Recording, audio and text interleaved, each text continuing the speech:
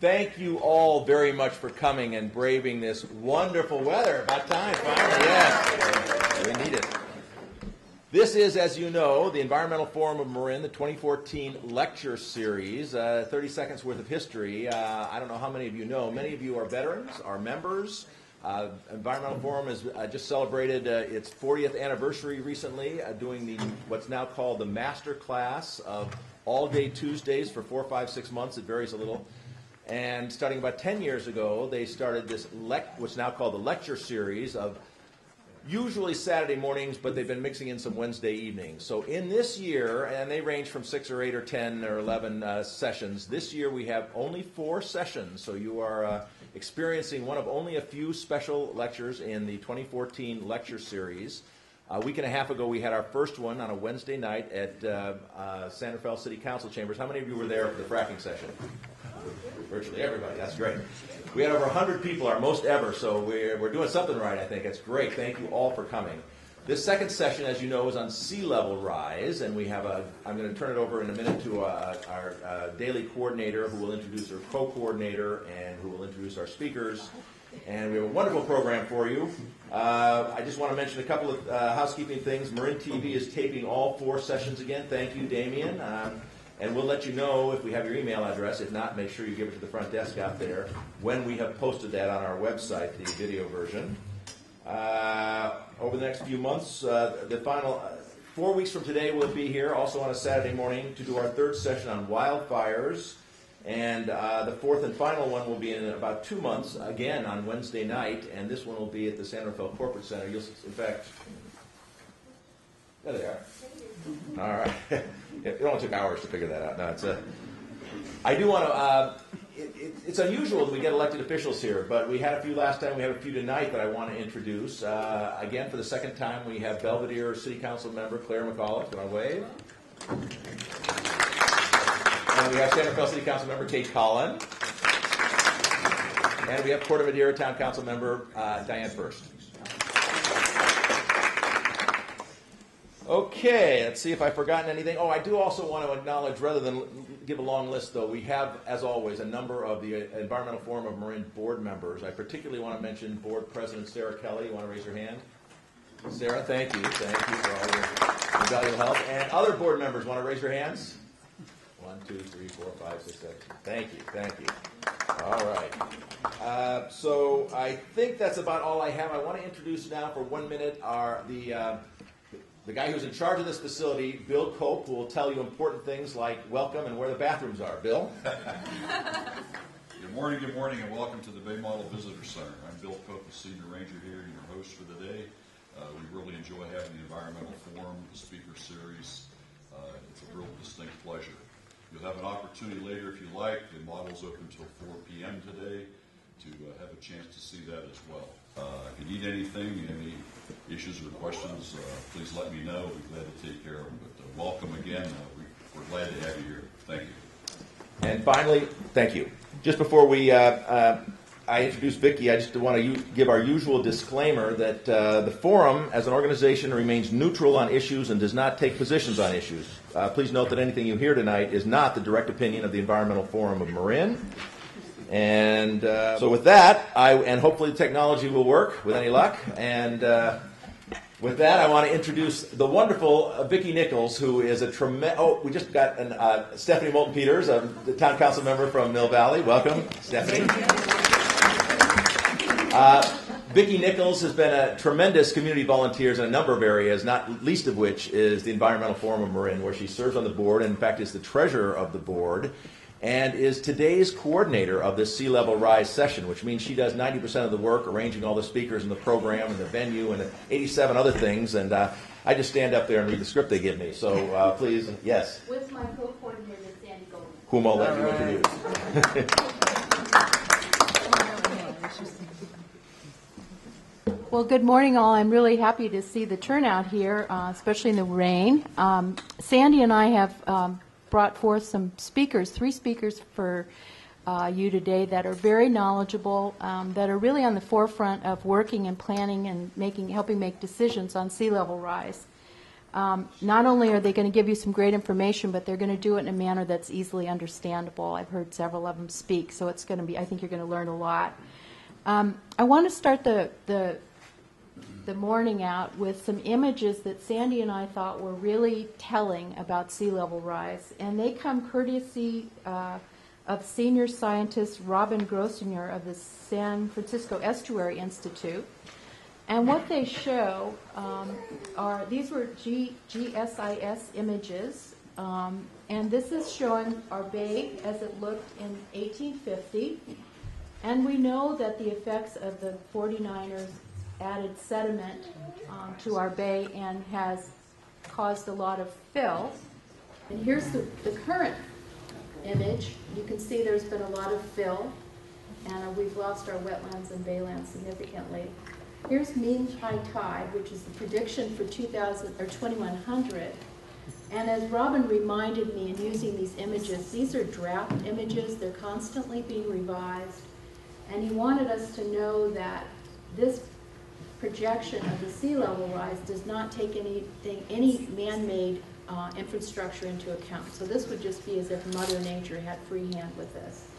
And here's a comparison. And I think the thing that, uh, the reason I like uh, this image is that you can see that Mother Nature, as water is known to seek its own level, she's trying to do just that if these projections are right.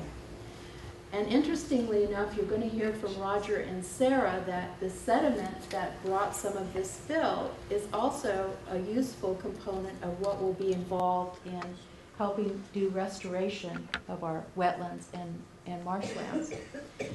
So um, that's pretty much it. Um, let's see. There um, specifically Roger, Sarah, and Kristina. Roger Leventhal, Sarah Richmond, and Kristina Hill are going to take you through their work that they're doing in, around the Bay Area and, and actually around the world, in Kristina's case.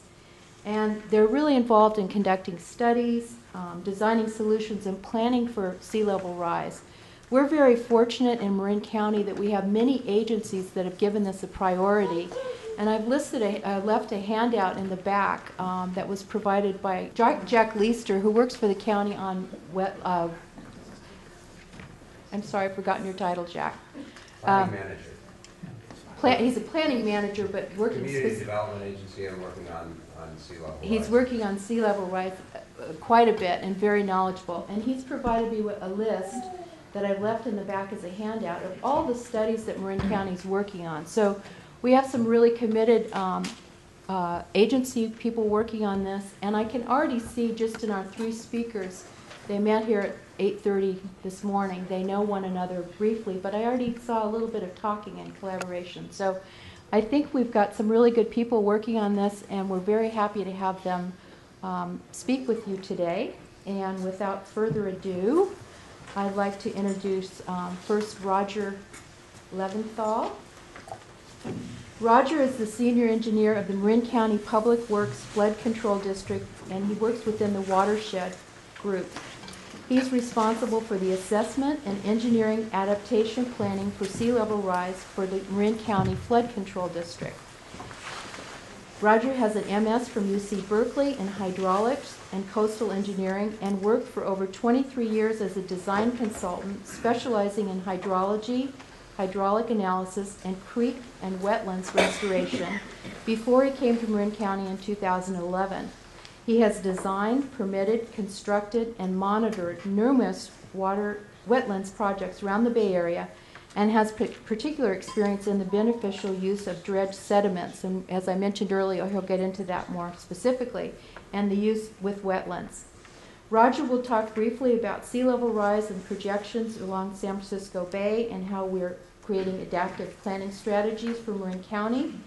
Um, he's also going to talk to you about the Aramburu Island Beach demonstration re- restoration um, project. Roger helped design and construct this, and it is the first constructed gravel beach in the San Francisco Bay. It sits in Richardson Bay, and it was combined. Uh, com- it was constructed to combat wind, wave erosion, and sea level rise.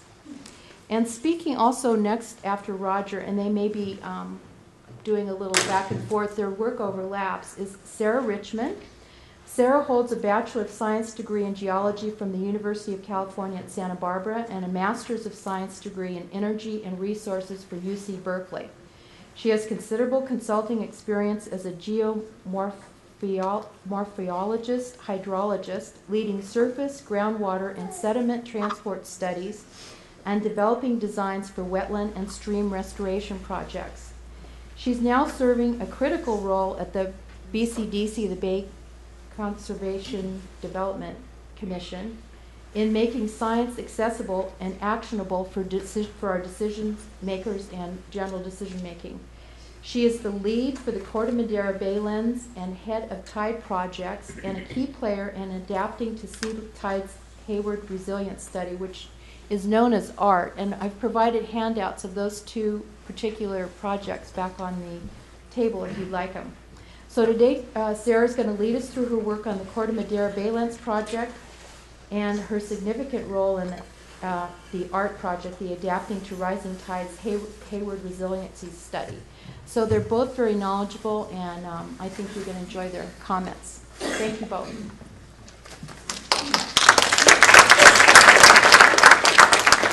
And I forgot to ask you all to please turn off your cell phones if you haven't already. Thanks. Okay. Well, thank you. It's a pleasure to be here today. Um, as Vicki said, I'm going to start, and then Sarah and I, who actually cooperate quite a bit, we're going to trade off one time um, during the talk. Um, I think if you have, um, I think the idea is to hold off your big questions till the end if possible, but if um, there's anything that's confusing and need clarification, because we have a lot to cover, we're going to go kind of at a good clip, uh, just be sure to raise your hand and get my attention and we can clarify as we go along. Um, that's a nice little play-in music. Thank you.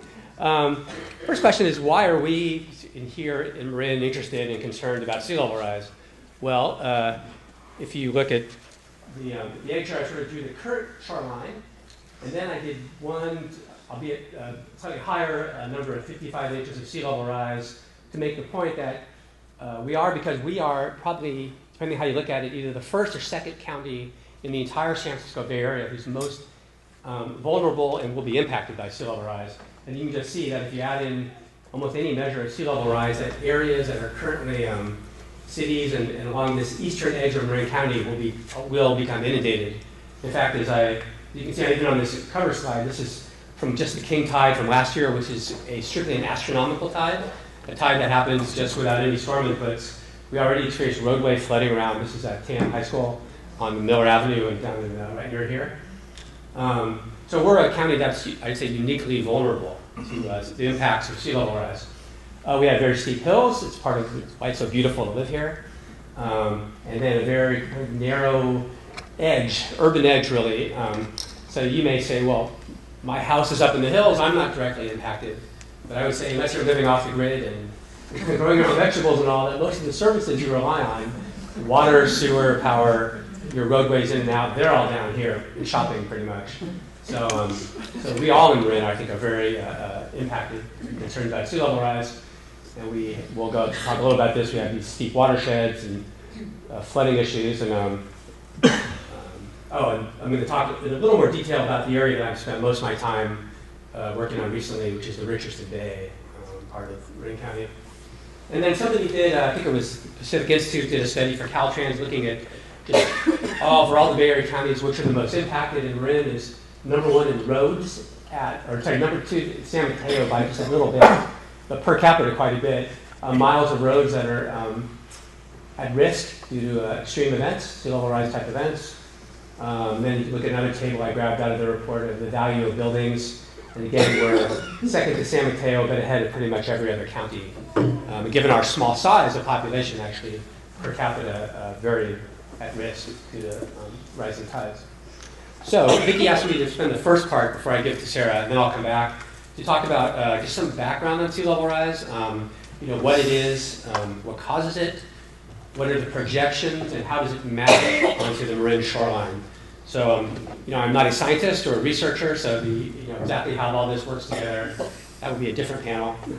but, um, but I can, you know, in general terms, sort of describe it and sort of say what, what forces really influence the final bay tide level Um, and sea level rise is one component, but we have, of course, the astronomical forces, you know, the, the pull of the tides and the Earth and the moon, sorry, the sun and the moon, pulling on the tides.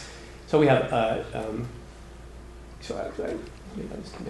so we have astronomical forces. We have more global forces, which is really uh, the melting of the Antarctic or Arctic ice sheets and glaciers, and there's been a lot of that in the news recently. As those raise water levels, um, we have regional forces, which are uh, uh, really um, important to understanding where the water surface goes, and those would be um, these called ENSO, which is the El Nino Southern Oscillation. You'll hear that term a lot if you hang out and read uh, about weather patterns, and this is where they measure the temperatures in the local Pacific Ocean, and they tell you if it's an El Nino year, a La Nina year, and all that kind of stuff. And that really impacts the water elevation. And then we have uh, local forces, which are really if the land's subsiding and raising, and you know the actual sea level or the waves at your site really depend on um, local conditions of not just the ground surface but the wind fetch, because these are wind wave driven. Um, waves are typically wind wave driven in the San Francisco Bay. So this is a very complex. Um, I don't pretend to understand all the science of it. Oh, delta outflow is another regional input that affects where our water level is. Um, but I would say that there's a pretty uh, wide and deep consensus among scientists that climate change and sea level rise is real and is, is happening. Um, we certainly have a political divide on it, but I think even within that political divide, there's um, it, even on the conservative side, it's not so much that it's happening or not. I think it might be more the degree that it's man-made and what we can do about it. Um, but for us here in flood control on the ground, dealing with um, impacts, you know, what's causing it is not as important to us as what you know, the fact that it's happening. But we have to prepare for it. Um, if you're in the world of uh, greenhouse gas reduction and all that, then it's much more important to what's man-made versus what's natural. But um, you know, for us, we're dealing with this edge here where we all live, and what are we going to do to plan and prepare for the impacts? so, um, uh, what do we know uh, locally about sea level rise? And I'll explain this graph. We actually have a, are very lucky to have a hundred and something years of actual data at the NOAA Tide Station at Golden Gate. Uh, San Francisco has always been a harbor town, so you know the, the height of the tides within San Francisco Bay has always been of interest. So I think this might be the oldest continuously operating tide gauge in the whole country, certainly west of Mississippi. So we have a very good record. Now you can plot data a million different ways, and what the way it's plotted here is um, it's called mean monthly tides. So the tides all the way from 18, every month from 1854 all the way to 2013, somebody uh, averaged the tide elevation for that month and plotted it. So there's something like 2,000 data points, um, and that's what these are. So you could have picked many different other things to plot, you daily tides, but as you know in San Francisco Bay we have a higher high, high, a low, and a lower low every day pretty much. So we have four different tide heights. So this plot averages out over the month and plots it, and it gives a nice record of the, and you can see a lot of spikes of course. And then what they did is they ran a five-year moving average. So every month they would recalculate that five-year average. That's why it doesn't start until year five. And it gives you sort of an average picture, really just a picture of the tide level over time. Um, and then you can really see nicely the El Nino years sort of plotting as peaks. Are these four red events are the El Ninos. Um, and what it's shown is that, you know, in measured, this is actual data, we have something like eight to nine inches over the last hundred something years, and it works out to somewhere in the two to something millimeter range per year. This is actual data, measured data at the uh, San Francisco gauge of sea level rise. So now we're in the world of projections. So what do scientists think will happen? And then everything becomes a little more difficult. Um, obviously now in the world of climate modeling and, and, very big things. And so this is that tide record up to where we are now. Uh, let me explain the axes. These are relative to 2000. So that's why it's sort of negative, but it's zero right at, at 2000. Um, this axis here. And these are the inches expected in rise. And if you just project out what historically was, it kind of looks like that. But there's a lot of work done by a number of people, and uh, this is the, you might have heard the IPCC, the International Panel of Climate Change Reports, that's the UN body, and a lot of heavy duty scientists and a lot of heavy duty universities cranking big models, and they're based on scenarios of emissions, really, I think, and glacier melting.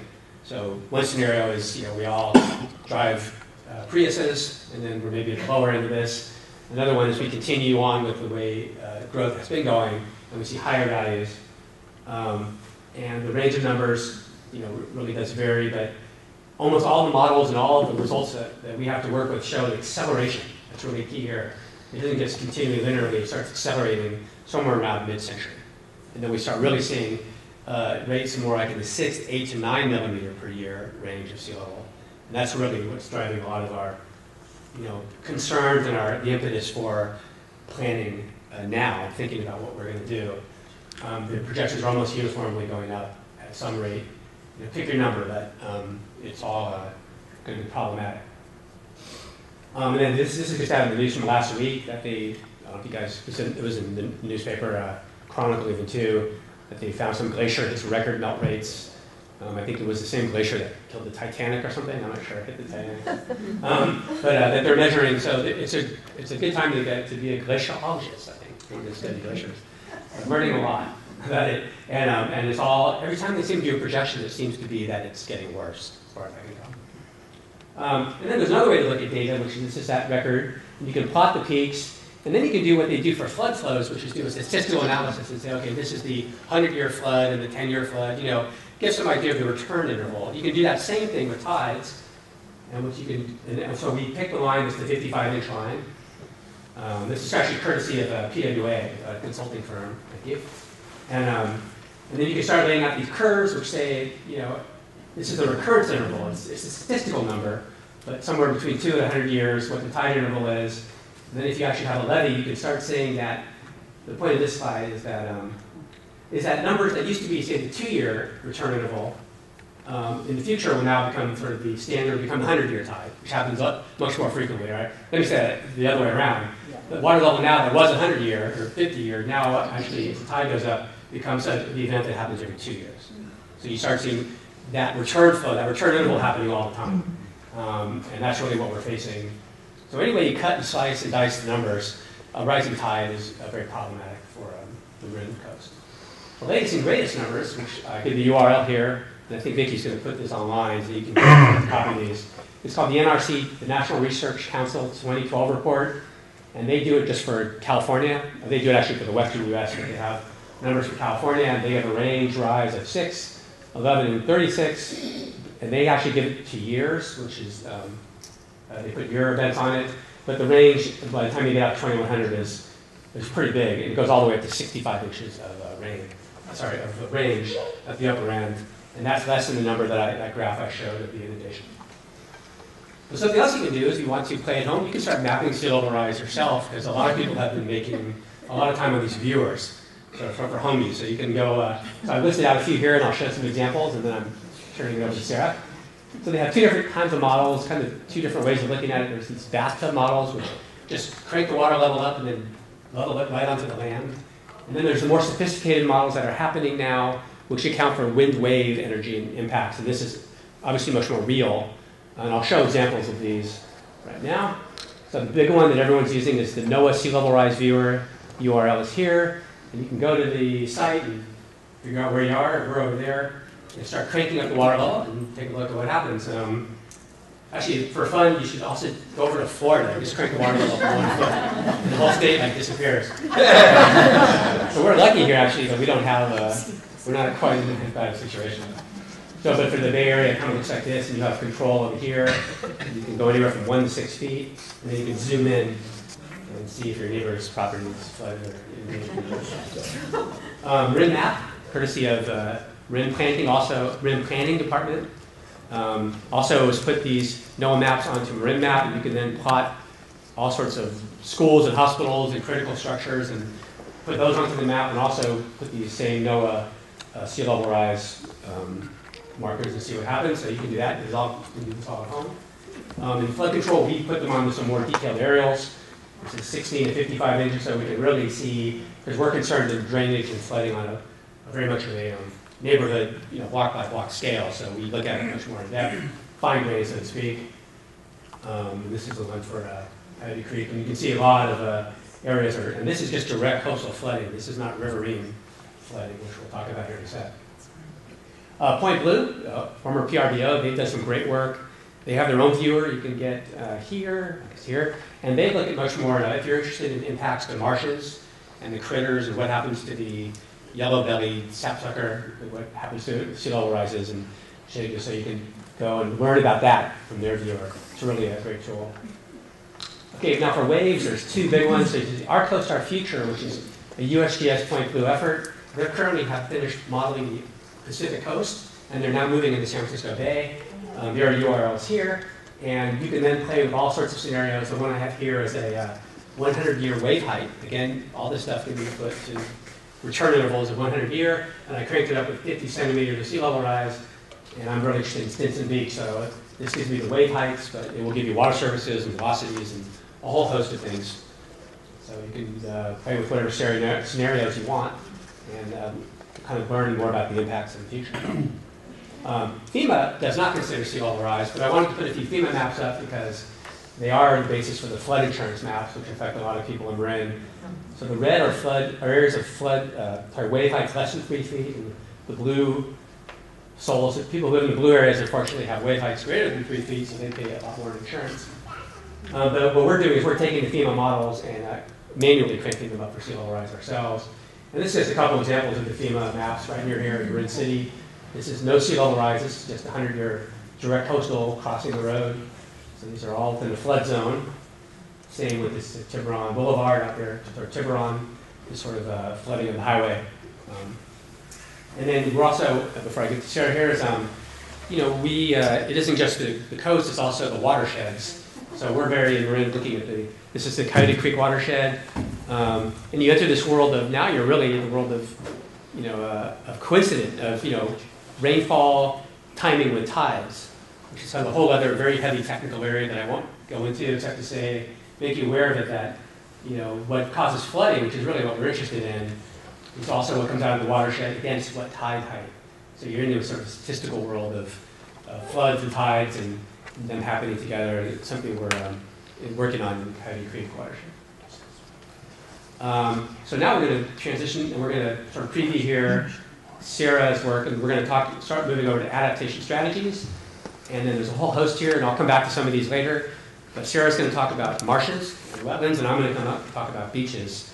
Essentially, we're going to talk about two natural approaches that provide habitat and deal with sea level rise. That's supposed to be a break, but I think you Great, thank you, Roger, for uh, that introduction. And I'm going to just pick up on where he left off, and he mentioned the difference between bathtub and wave models. And the reason why it's important that we're working towards these wave models is because waves can erode, oops, sorry, pointer. Waves can erode our shorelines, and certainly, waves can also increase the potential for overtopping structural features like levees or berms. So, waves are important to consider in terms of flooding, and mudflats and marshes actually provide that first line of defense against coastal flooding. And throughout this talk, I may refer to mudflats and marshes as baylands. That's sort of a term that we use to uh, refer to those two features together. And so, baylands can actually knock down wave heights. As those waves travel through shallow water, they encounter these baylands, and so baylands can be part of sea level rise adaptation. Now, it turns out that there's actually very little data about how these baylands actually reduce wave heights, and even less data about how these baylands may be able to help as sea level rises.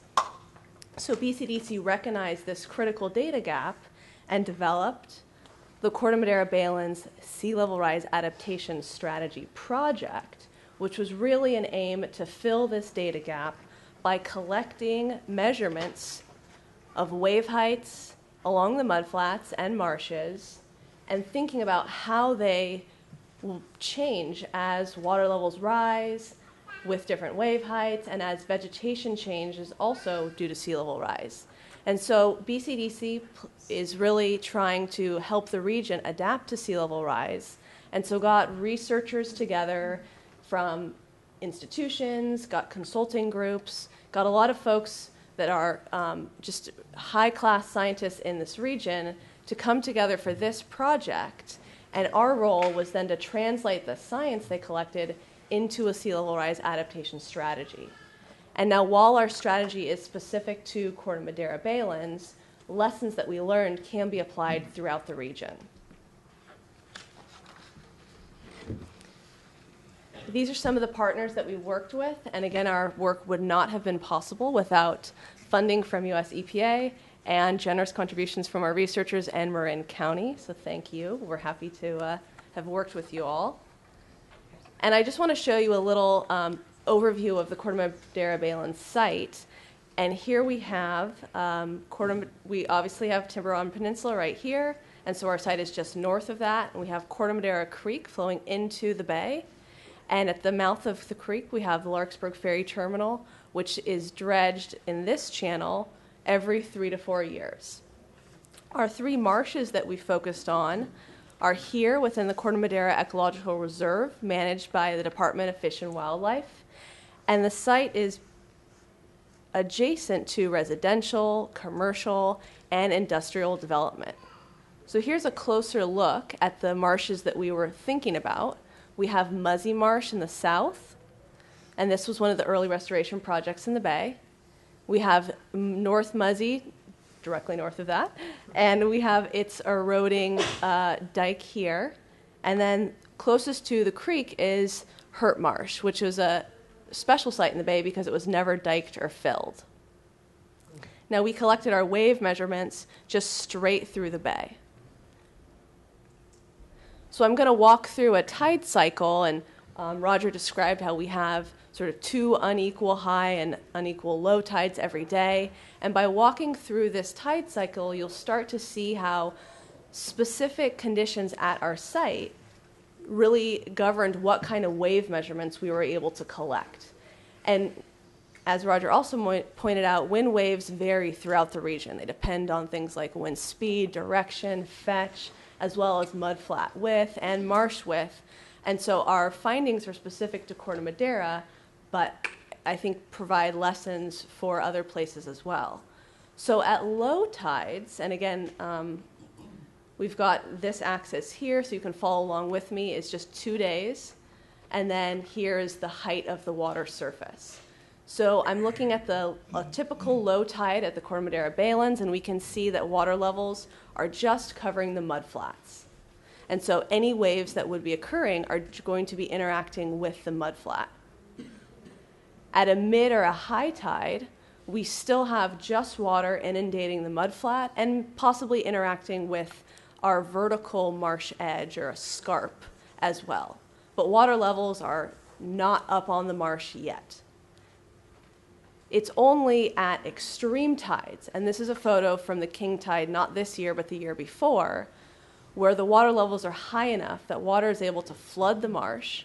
And obviously, in this photo, there were no wind waves, but if there had been wind waves, then those waves would have been interacting with the marsh plain, and the marsh plain would have been able to um, assist in knocking down those waves. And so the point I want to make here is that, you know, on a day-to-day basis, the mudflats are really providing the muscle of interacting with any wind waves that occur and facilitating to knock them down. Whereas at high water levels on these special occasions, that's when the marsh is really going to do the work of interacting with those wind waves.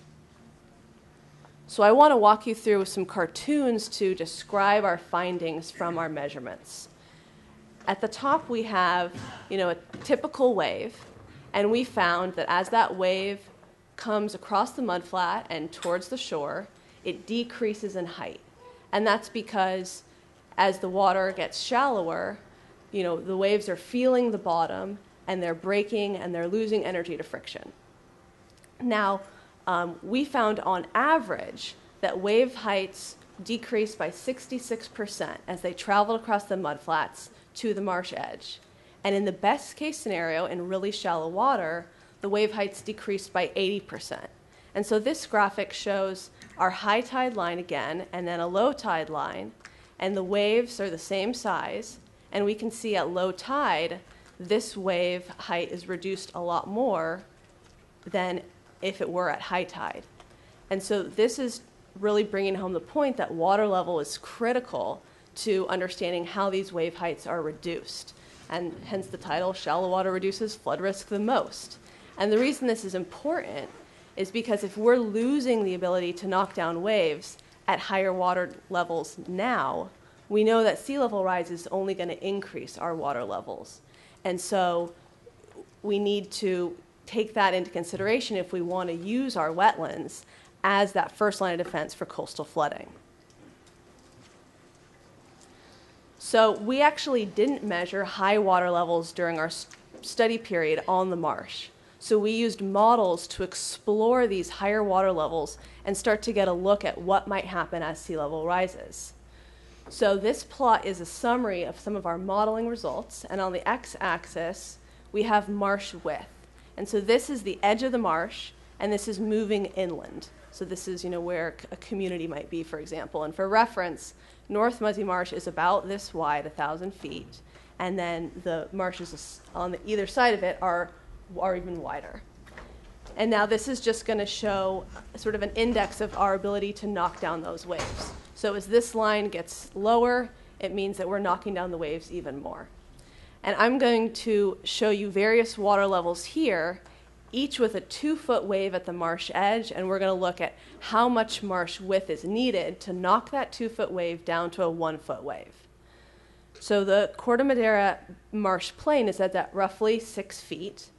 And so at a seven foot water level, in order to get to this one foot wave height, we only need a very narrow marsh to knock down those waves, about 40 feet. At a higher water level, say a nine foot water level, and this could be comparable to like a 100 year water level, we can see that we need a significantly wider marsh, about 180 feet, because there's so much more water depth over that marsh. And so to me, this really makes the point. We increased water level over the marsh by just two feet, but in order to provide the same level of flood protection, we have to have an 800 foot wider marsh. And if we think about maybe the 100 uh, year water level with, um, say, one foot of sea level rise, for example, then we can see that you know we're really off the chart. We need an even wider marsh to provide that same level of flood protection. And did you have a clarifying question? You're not including mudflat in this analysis. Because this is the, uh, the modeling that we did focused on the marsh because we weren't able to get measurements. So there's a, a different analysis that I'm not presenting today that integrates both. Yeah, thanks. Um, and so we also did the same analysis looking at a three foot wave to see are the results any different if we had a three foot wave at the marsh edge and then tried to reduce that, reduce that to a one foot wave. And the story is the same. It really depends on water level. Water level is more important than wave height in terms of a factor to take into consideration in thinking about flood protection. We did also look at vegetation and tried to understand what role does it play in this first line of defense of coastal flooding. And we found from our modeling alone that whether you have sort of mid-marsh pickleweed or low-marsh cordgrass, the results looked fairly comparable. However, if you had no vegetation at all, if you lost your vegetation, then you would lose, for example, at an extreme water level, say half as much of your effectiveness to reduce those wave heights. So we want vegetation there. It just appears, given our limited understanding right now with the model, that which species doesn't make a huge difference. So to summarize, we want that high, wide, vegetated marsh to provide the maximum flood risk reduction. We want it to be high because that will help us have that shallow water over the marsh, which effectively reduces wave heights in a narrow space. But at those higher water levels, we need it to be wide in order to provide that same level of protection. So I want to just show what the future looks like for Corte Madera Marsh if we do nothing. So here are some results describing how the marsh we have now, which has a little bit of high marsh, mid marsh, and some low marsh, it's look according to the models, it looks like it's going to downshift. So the high marsh becomes mid marsh, mid marsh becomes low marsh, and low marsh eventually becomes mudflat by the end of the century if we do nothing. Now, this site um, in the south, Muzzy Marsh, was an early restoration project. So we restored tidal action, and that has been a very successful project. But that project didn't consider all of the processes that historically supported these baylands because you know, there were serious constraints like housing and development behind it.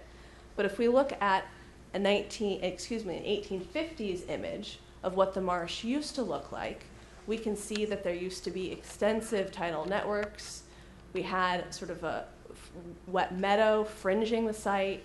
We also had a connection between Corte Madera Creek and the marsh. And so we may not be able to return the site to this image, given where we are at now, but we can think about how management measures and engineerings can mimic or recreate some of these processes which historically supported our baylands.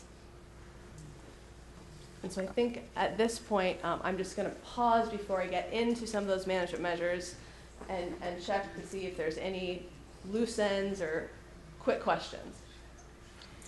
We know from the tsunami and from tidal waves that as it gets shallower in the, in the ocean, the waves get higher.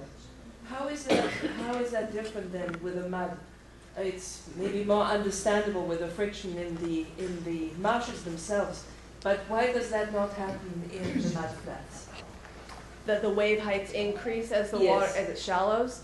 Um, you know, I think that I'm going to have to follow up with you on that question. I don't, Roger, do you have a good answer? I mean, I'm not a great one, but I think tsunamis are a really totally different kind of wave. So there's a huge amount of water behind it. It's a very, very super long period of like miles. And, and so it's not like just a breaking wave, it's this huge wall of water that keeps pushing up. So I think it's just a very different processing. Yeah, that, that's not what we're finding here, but it's a good distinction. I suspect it's the difference between deep ocean waves and wind-driven local waves. Yeah. Because in the deep ocean waves, most of the wave is actually circulation of water below the surface. And in wind-driven waves, it's more a surface phenomena, and that's probably why. That's, that's a good answer. Yeah, but with tidewalk. Yeah.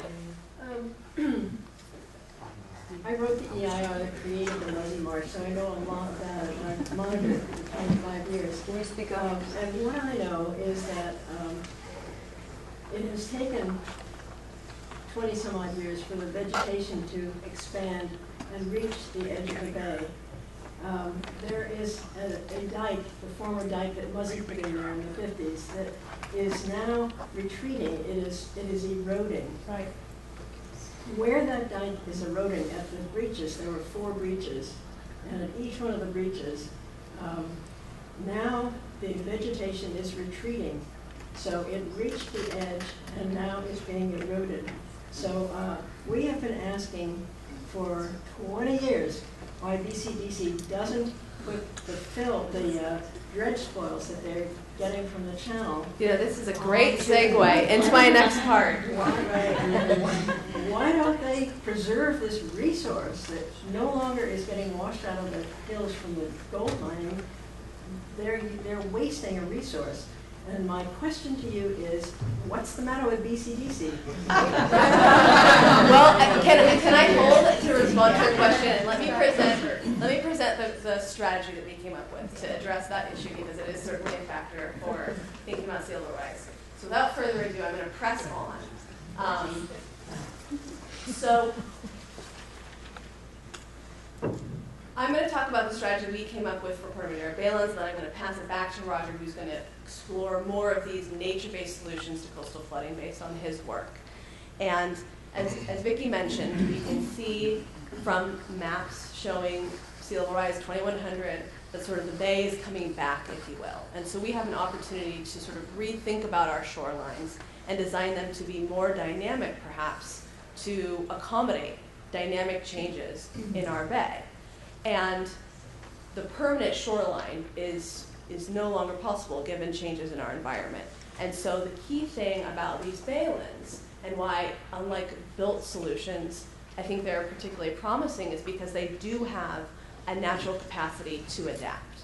And so this cartoon shows how as water level rises, the whole profile can actually shift, you know, upward and landward to sort of get out of the way of this increased energy. Now, these systems depend on sediment as building blocks in order to build upward and migrate backward. And scientists have been finding that it appears there's decreasing sediment supply in the bay. And we also know from some of the images that I just showed and your own personal experience that in many cases there isn't room for these baylands to migrate landward because of development pressures. And so as a result, we may have to think about some strategies to help them along. And the point that was raised is that working with nature can take time for things to be established. And that's why I'm so glad to be having this conversation with you all today, is because I think we can try to sort of work with nature now before it gets too critical. And that way we can build some of this dynamism into our shorelines as sea level rises.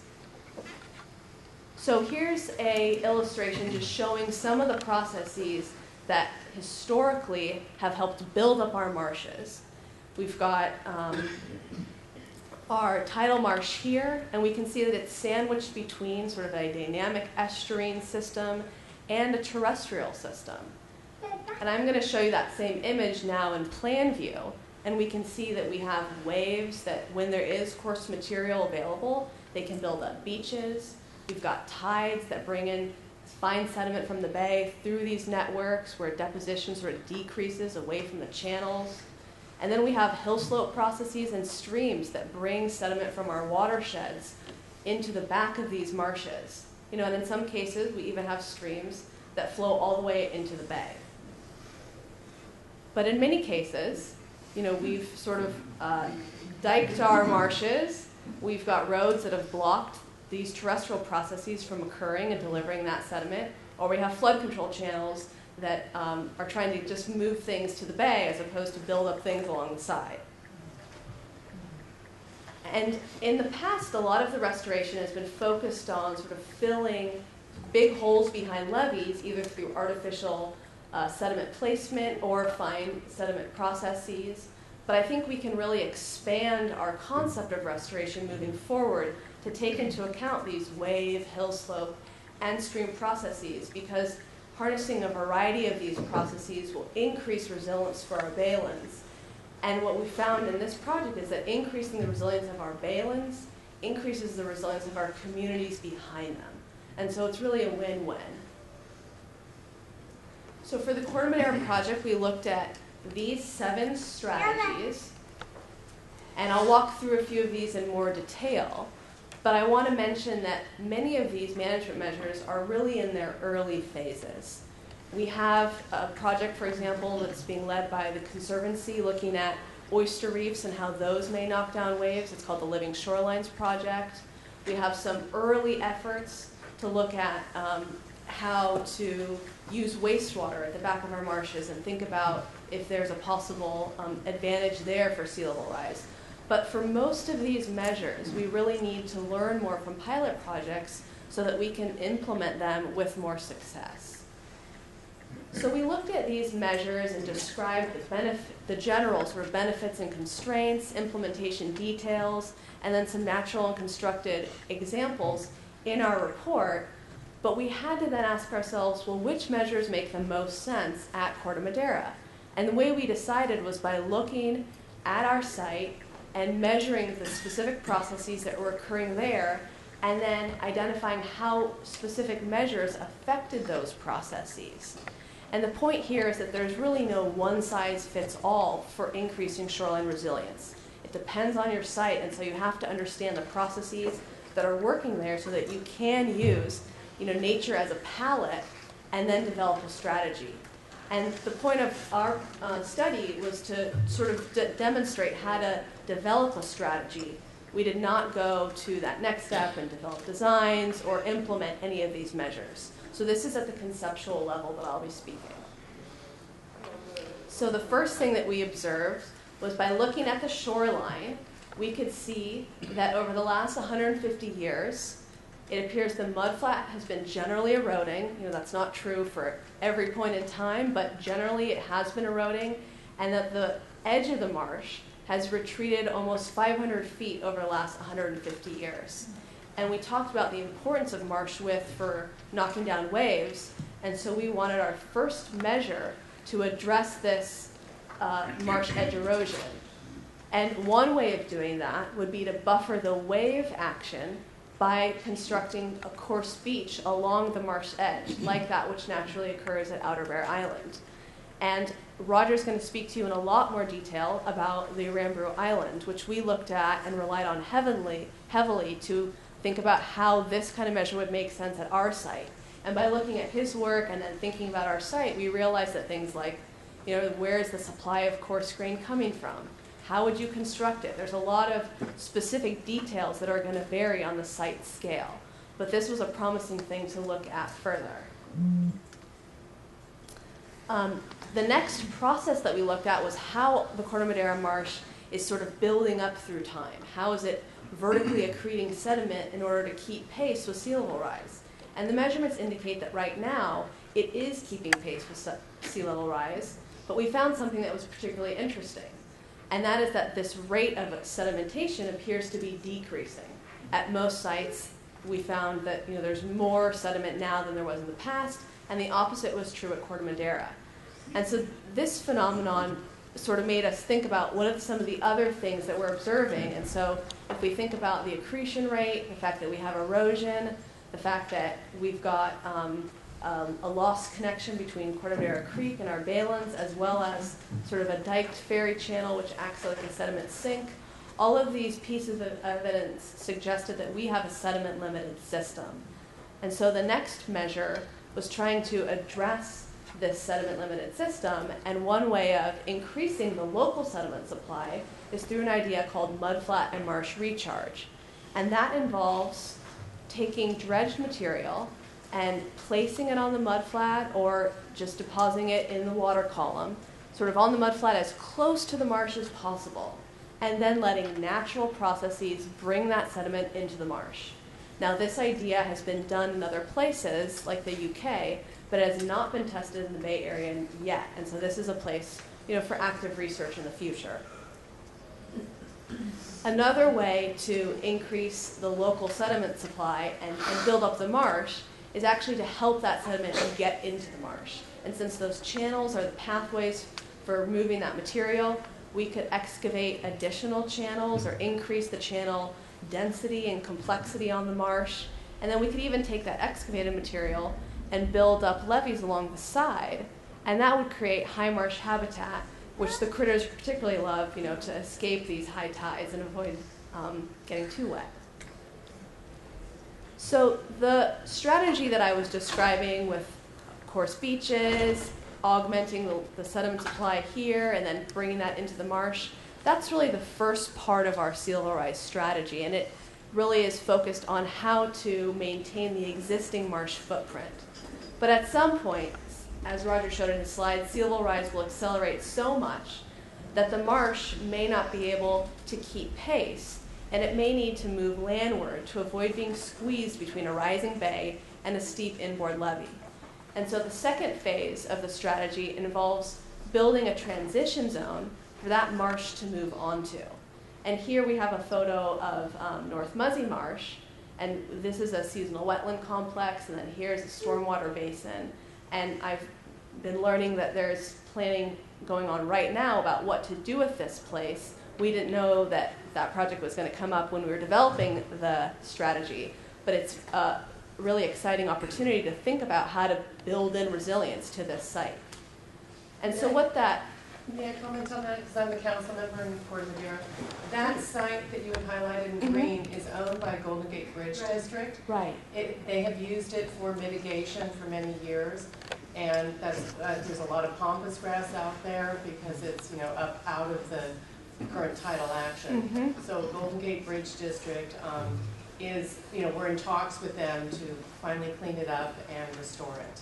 Great. So, It um, was that. spoiled for the, for the channel for the ferry terminal. Right, right, right, for many years, that's where they, um, they put the wells. Right, and, and I will describe here, you know, certainly, this is a, um, a graphic illustrating what that green box could look like in cross-section. And so you have sort of your tidal marsh here, and then you've got this very gentle slope. And in places where, you know, there is stormwater, you could actually seep water through the slope and possibly get some water quality benefits. Um, the idea really is that you're emulating that wet meadow that historically ringed the sites. But the details for, for exactly the water quality benefits, you know, are, are being worked out in a pilot project that I mentioned. So I, I can't speak too conclusively on that right now. But one thing about building the slope that I do want to mention is that it involves converting you know, one land use into something else. And so the trade-offs do need to be considered, and that's certainly um, something that BCDC is having a lot of conversations on about right now, about when this kind of um, approach would be useful or, or how to start making those decisions. Um, another thing I want to mention is that there's several ways to build up this gentle slope. You could sort of build the slope in stages, or some other ideas from Peter Baye and others are that you could also kind of have slurry deposition onto the back of the slope to kind of keep it uh, maintaining itself over time. So there's a lot of details on this that are yet to be explored. Um, and what I've done in, in here is sort of shown some of these measures in um, this graphic to, to illustrate that not time up here, but sea level rise may be a way that we may need to start thinking about when to implement certain measures. These measures may only be effective for certain amounts of sea level rise, and then we may need to transition to the next management measure because then it will provide the solution that we're needing. And so with this dynamic bay, we're going to have to use adaptive management and sort of learn by doing and monitor and constantly think about how things are performing as we move forward. And this is just one factor to include in adaptive management, sort of how sea level is rising, but we also have to think about, you know, what's going on with our tide gates and our levee maintenance. And are there policy changes that are coming out of the agencies? These are unknowns. And so we're going to have to work really flexibly moving forward. And I think Jeremy Lowe refers to as renaissance shoreline managers. We're going to need to have, you know, a geomorphology hat, a planner hat, a regulator hat. We're really going to have to get out of our silos in order to rethink these shorelines to accommodate multiple benefits. And one effort that BCDC is working on right now, which Vicki described, is the Adapting to Rising Tides effort. And the project began along the Alameda County shoreline, and it was trying to pull together a diverse group of stakeholders and recognize that many of these adaptation issues are complex and cross-cut our typical boundaries. And so right now, um, we developed some tools at the county scale that we're actually using at more neighborhood scales. Here's a map of one of our focus areas along the Hayward shoreline. We're doing the same thing close to the Oakland airport. And we're trying to refine some of our adaptation responses by using some folks that know these places like the back of their hand. So it's an exciting process that we're, we're working on, and we're really doing this collaborative planning at multiple scales. We're also working with the region on how to create sort of more resilient shorelines. It's a project that is just getting underway, underway right now. But the idea is we're trying to develop tools so that folks in their communities can start thinking about the assets they know so well and work with their decision makers to move forward. And so with that, um, Roger's going to take you through some other adaptation measures. Okay, thank you. Um, I think a thread in this is that, at least for me especially, is um, these natural analogs offer, you know, they're providing us a flood control uh, benefit or a service. So I provide, in addition to providing all these other uh, values as habitat and, and, resiliency. So I'm going to show you now um, a project that I designed um, with Peter Baye before I came to Marin County. And I just, we, we built, just finished building it just after I got to the county.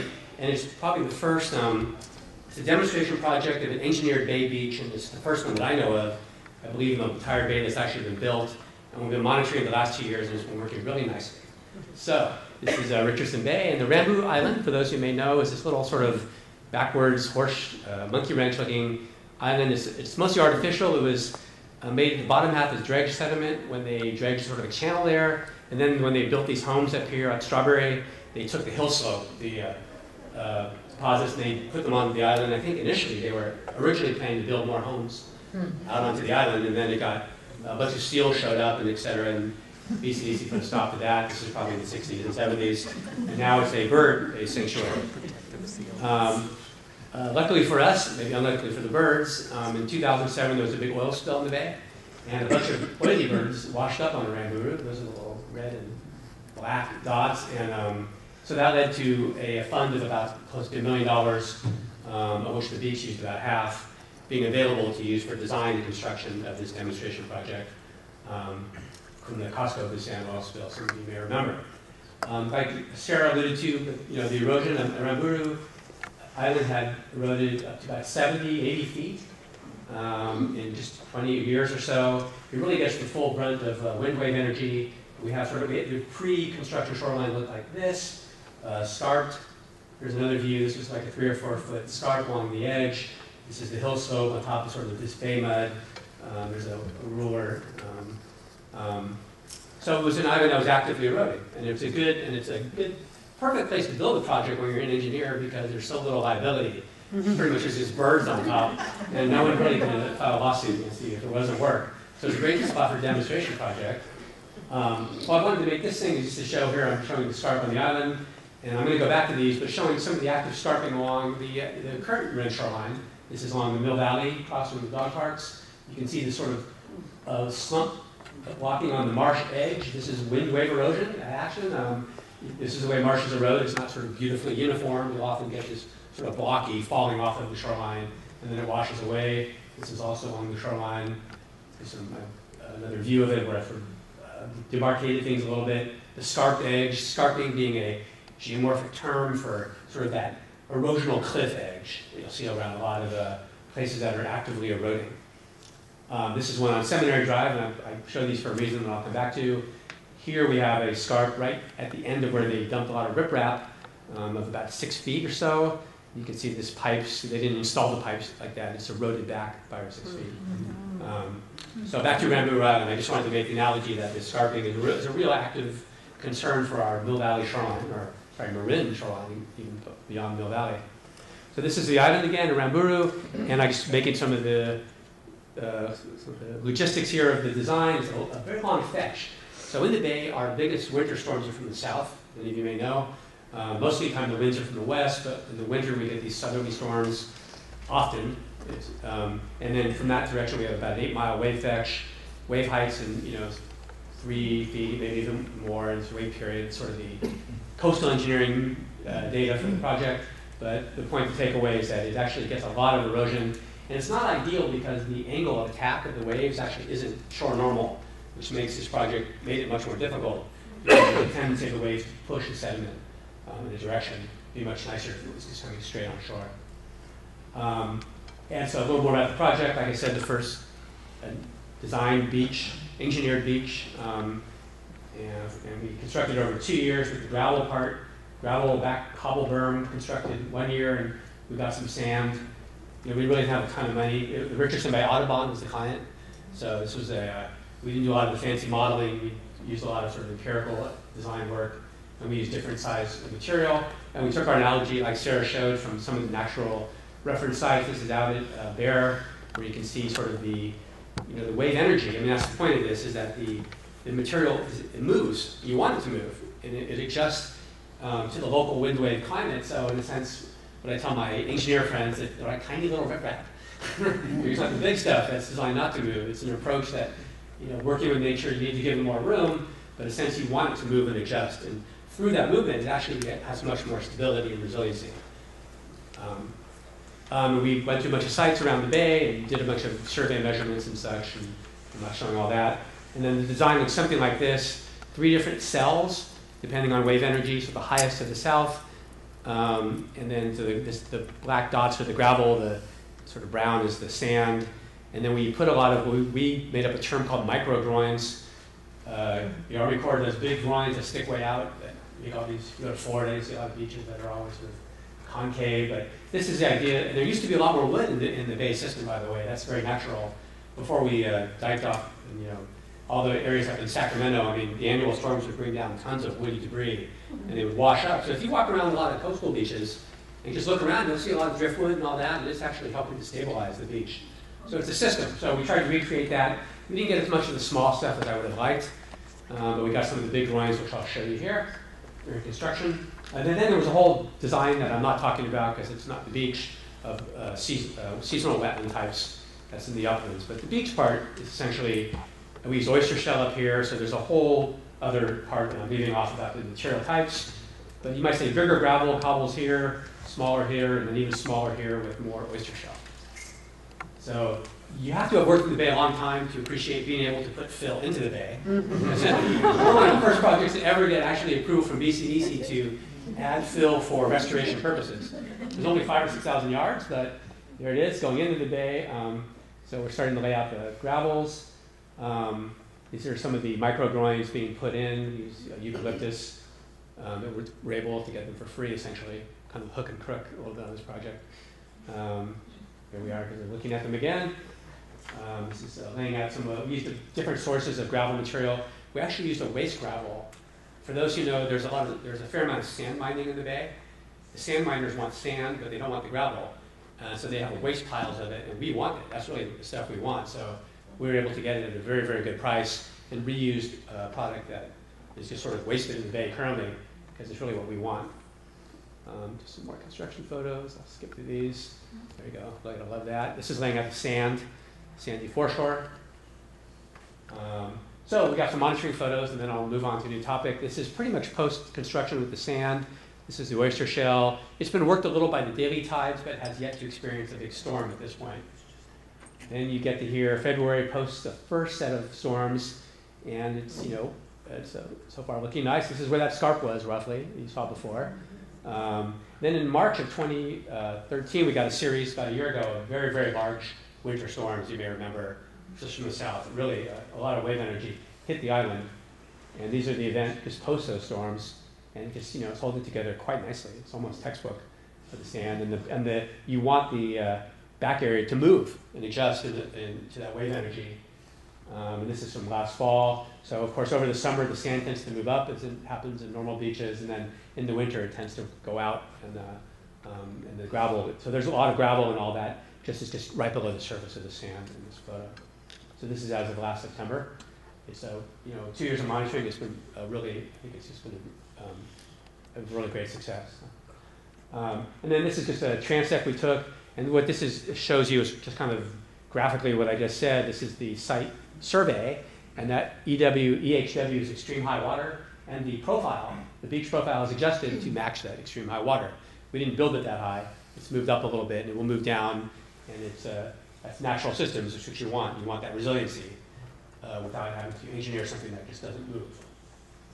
Oh, and then the birds, um, you know, I'm the engineer, not the birder, but the birds really love it the oyster catchers, I think those are, orange beaks and terns, like crazy, and the bird counts. So um, if you connect with Richardson Bay Audubon on Facebook, they have a lot of more information about the bird usage of the island.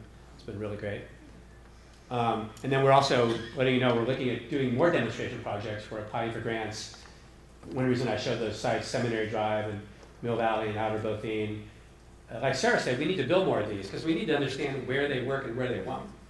And those limits that engineering design manual, the guidance manual, so the private firms will do this, has yet to be developed.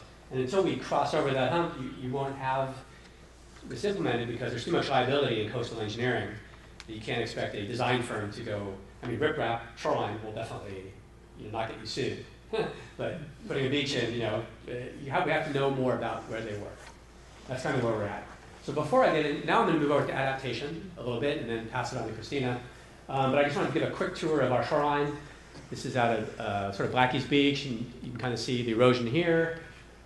And you can see San Rafael, what people typically do, more typical coastal engineering, that riprap shoreline, kind of where we're heading. This is kind of in the world of uh, sea walls, flood walls. We'll be seeing more of these. I'm going to talk to this in a minute. People sort of deal with the rising sea level on their own. Um, and this is out of San Quentin, just from the ferry. You can see we have a future of if we don't get in front of it, where we're heading is a future of walls and rocks essentially along our shoreline. So seawall, rock, seawall, rock. I mean, so this is, you know, essentially kind of where we're going um, with the state of the engineering science the way it is. Um, I wanted to show a few other things, how they look. I mean, we talk about seawalls, flood walls, but they have aesthetic impacts. Um, this is all a wall. This is what they're doing on the New Jersey shoreline post Sandy. In fact, I love this article. It just came out. This is a the city just got $40 million to build a seawall, but what's funny in the article, they're all excited. Wouldn't it be great to drive the metal in by the first anniversary? And 16 feet above the beach, 32 feet below. Um, so it's kind of where we're going. Uh, now, we don't have hurricanes here and such, so we're not, this is more dramatic than us. But we, um, we'll see, we're going to see more and more um, push from private individuals who own a lot of our shoreline to protect their resources. This is kind of what we think, what the um, planning efforts really need to get in front of. Um, tide gates, something I'll talk about here in a sec. Tide gates can help block off the tides. They, you see them all, all talked about, but how do they look? You know, they're not the most beautiful things, and they have impacts ecologically, and, and also we talk about putting tide gate structures, which I think in some places we should. Um, it's also really hard to permit, um, so these are whole other topics, but just trying to make a little more visual what some of these engineered options really look like. And I think uh, Kristina's going to probably even do more of this from Europe. So I'm going to close to the adaptation part, talking. We've been really spending a lot of time in the um, Richardson Bay part of the shoreline because this is where we have existing flooding, even now, just on high tide. So that's from the king tide of 2012, Miller Avenue. Um, it's just a backwater on a nice sunny day, or you know, so we don't get a lot of drainage down there. It's a real problem. Um, and then when you add in the rain events, you easily get that's from the old days, but you, know, you can see this more and more houseboats, so to speak, flood boats. Um, and so we get flooding from both ends. We have impacts to everything. It's a really nice.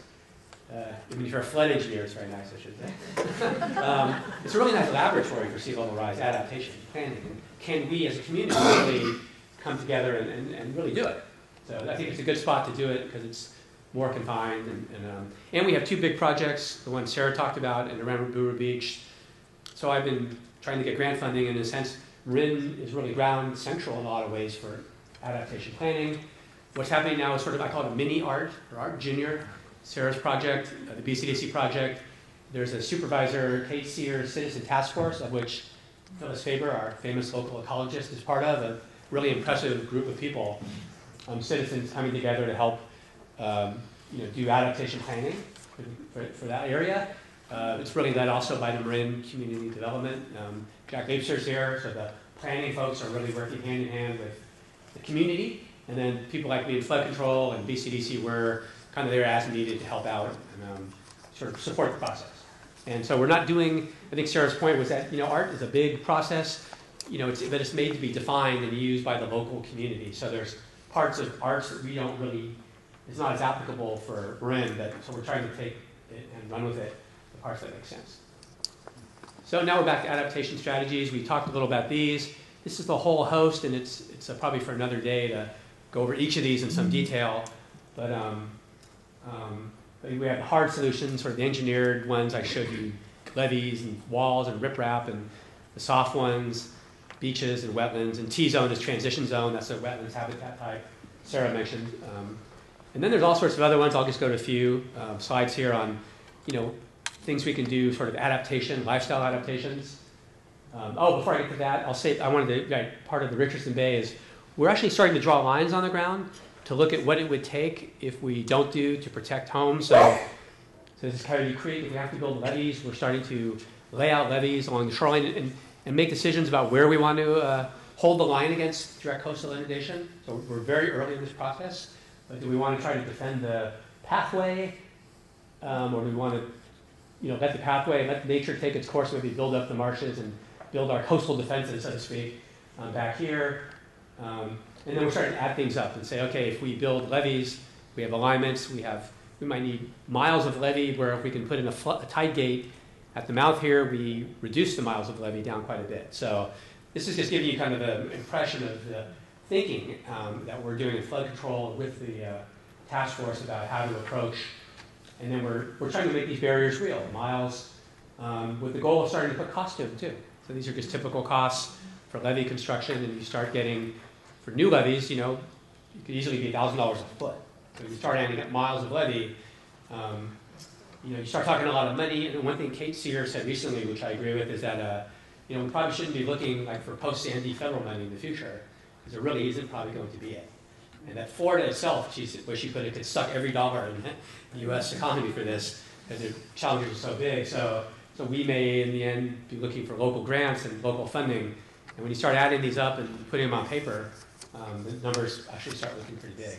So we should, planning, this needs to be a factor in planning. It's what really focuses a lot of what I'm doing. So then there's some lifestyle adaptation um, that the landscape architects tend to lead. and this is uh, this is actually existing, I think it's in Lagos or something in Nigeria where a lot of poor people live on boats. This is from the uh, houseboat days, which I I wasn't around so much then, but I heard it was a pretty good party in the 60s. Mosquito houseboat scene. Still there, yeah, in Mill Valley, so I wouldn't mind going back to those. Uh, the next one based on heard. Um, there's uh, all sorts of ideas out there from creative young landscape architects envisioning the future. I guess aquatic teepees or something like that. So, um, this is something I think in actually Qatar, something in the desert, where this is actually the hydropolis design, where people sort of live with the nature, water. And this is one somebody put together in the BCDC contest they had a few years back. This is actually the mouth of Corte Madera Creek, where uh, people will be farming, and I guess I don't know if they're watering with salt water or not, but, um, but they're living at the, at the mouth. So how many of these are real or all? But you'll see as you you know envision this world, there's a lot of creativity, and it's an interesting time actually as we think, well, what could work? And so we it's kind of fun to look at some of these and envision. And so actually, somebody handed me a card recently where they, their title was futurist, I thought was very cool because they're just walking around thinking about the future. Um, and so finally, I'm going to, uh, well, actually, a couple more things, but uh, you hear a lot about the Dutch alternative, and Kristina's going to talk about it in some real form. I'm making more joke here. But BCDC signed a partnership with the Dutch. That was in 2011. LA River had a big day of adaptation to climate change with the Dutch.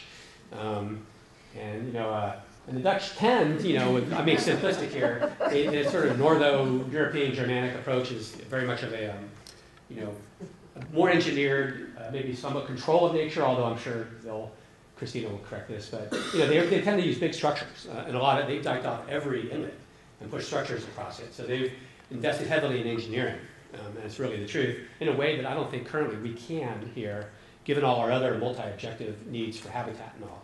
So the permitting agencies won't let these be happening across every dike and bay and creek and Golden Gate.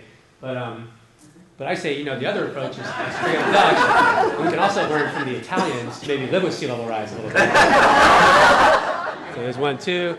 So you can still hang out with your friends. Um, you can still do sports. People do. In fact, you can, uh, yeah, uh, pretty amazing. And then actually, you can, you can even try new sports, ones I didn't know about, sort of urban diving, aquatic diving. And then the Italians did early research into uh, love, the impacts of love and romance on a rising sea level, I think, in the fountains. This is uh, La Dolce Vita, of course. So. Um, and then you still see that even going on today in some photos. So, so, you know, so this other adaptation is to learn to live a little bit with a little bit of, of water on the ground. Um, and then finally, that brings us to maybe the, the hardest part we've talked, we've touched upon, really the engineering adaptation. But then there's the process, and how do we work together and plan? And this, by far and away, is the most difficult thing, because although we like to think it's it's a rational discussion at times, often it won't be news to people in Marin it's not always so rational. And we get, you know, you want to build walls? No way. Or you want to install gates to herd fish? No way. And you want to save birds and I have to pay flood insurance? No way. And you want to save the Mill Valley Dog Park? No way. And it's tough because that's all, the discourse often goes this way. And that cat, that, that cat just hates dogs. There's no way, there was no breaking through. But our goal, it seems like what we have to do is we're always trying to get to this goal of win-win um, and you know, you, uh, group hug sort of things. And that may, it's going to be interesting to see how this unfolds over the next years, because this is really the, uh, probably the main challenge. Um, oh, right, this is, a, this is from the King Tide again to Ability Biking, so starting their adaptation training already. But the takeaways, um, I, will start with this uh, three, this because we're talking about planning. You know, we're, uh, sea level rise has been called a, a slow-moving catastrophe. And as such, it's good in that we have time, and that it's bad and that I don't think we're very good at planning for things that move slowly. So how we do that and how that unfolds over the next years, I hope I live long enough to see it successful. Um, but it's comprehensive planning, I think, is really a, good thing. We're not talking now about building walls or sea gates. I mean, we're not at that point. We have some chronic flooding areas like Manzanita parking lot and Miller Avenue that we need to deal with. But, but we need to start thinking about what we want it to look like, where we want to draw the line, so to speak, and start making maybe making sure we have the right of way or we don't let properties get away that are key, critical to making that happen. You know, a barrier is only as strong as its weakest link. So we need to start, you know, planning out how we think this is going to go and that we want habitat and how we're going to maintain it, like Phyllis said, using sediment, connecting the watershed sediment to the bay. So these are big decisions that we have time now to do if we can really get started down the road.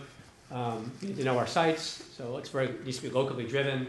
And uh, like Sarah said, this should be done on triggers of sea level rise, not just timelines of when it happens.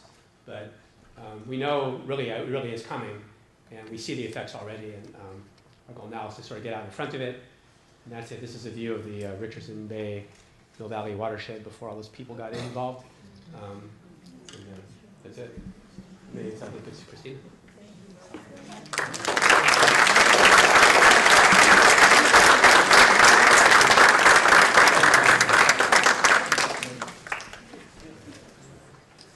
I think we're a little ahead of schedule, so I think we're going to take a 10-minute break. Um, The bathrooms are out in the back, and then we'll come back and we'll hear from Kristina Hill. But before you leave, um, I would like to acknowledge my co-coordinator, who really didn't get introduced, and who's back doing the slides. Uh, Sandy Goldman has been a delight to work with. I think she's still currently the Friends of Corte Madera Creek, is that right? And you're a biologist? Geologist, so she knows a lot about these issues, and she's been delightful to work with, and certainly this has been an equal collaboration. Thanks, Andy.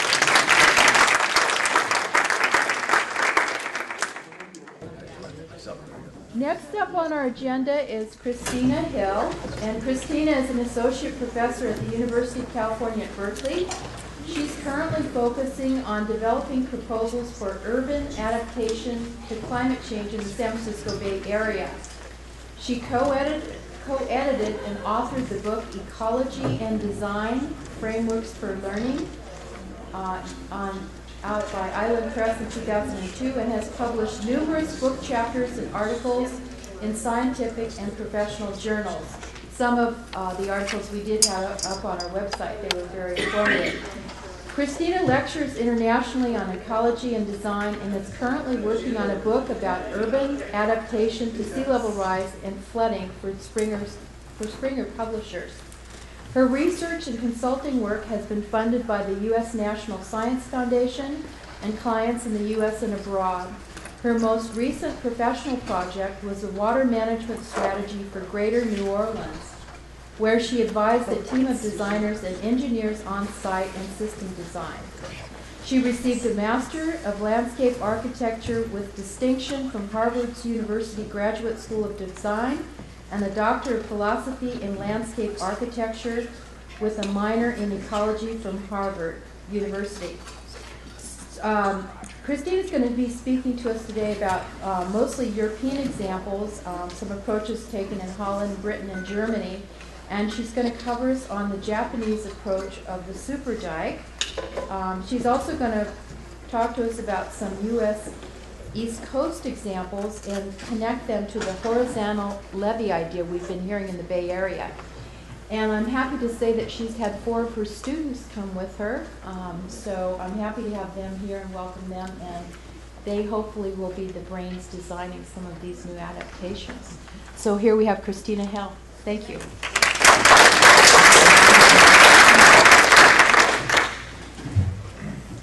So um, I'm going to move kind of quickly through a bunch of images, which is more the way in my field. Um, and what I'm going to try to do is give you an overview of what people are doing in different parts of the world who have already begun this process and have invested a lot of resources in it.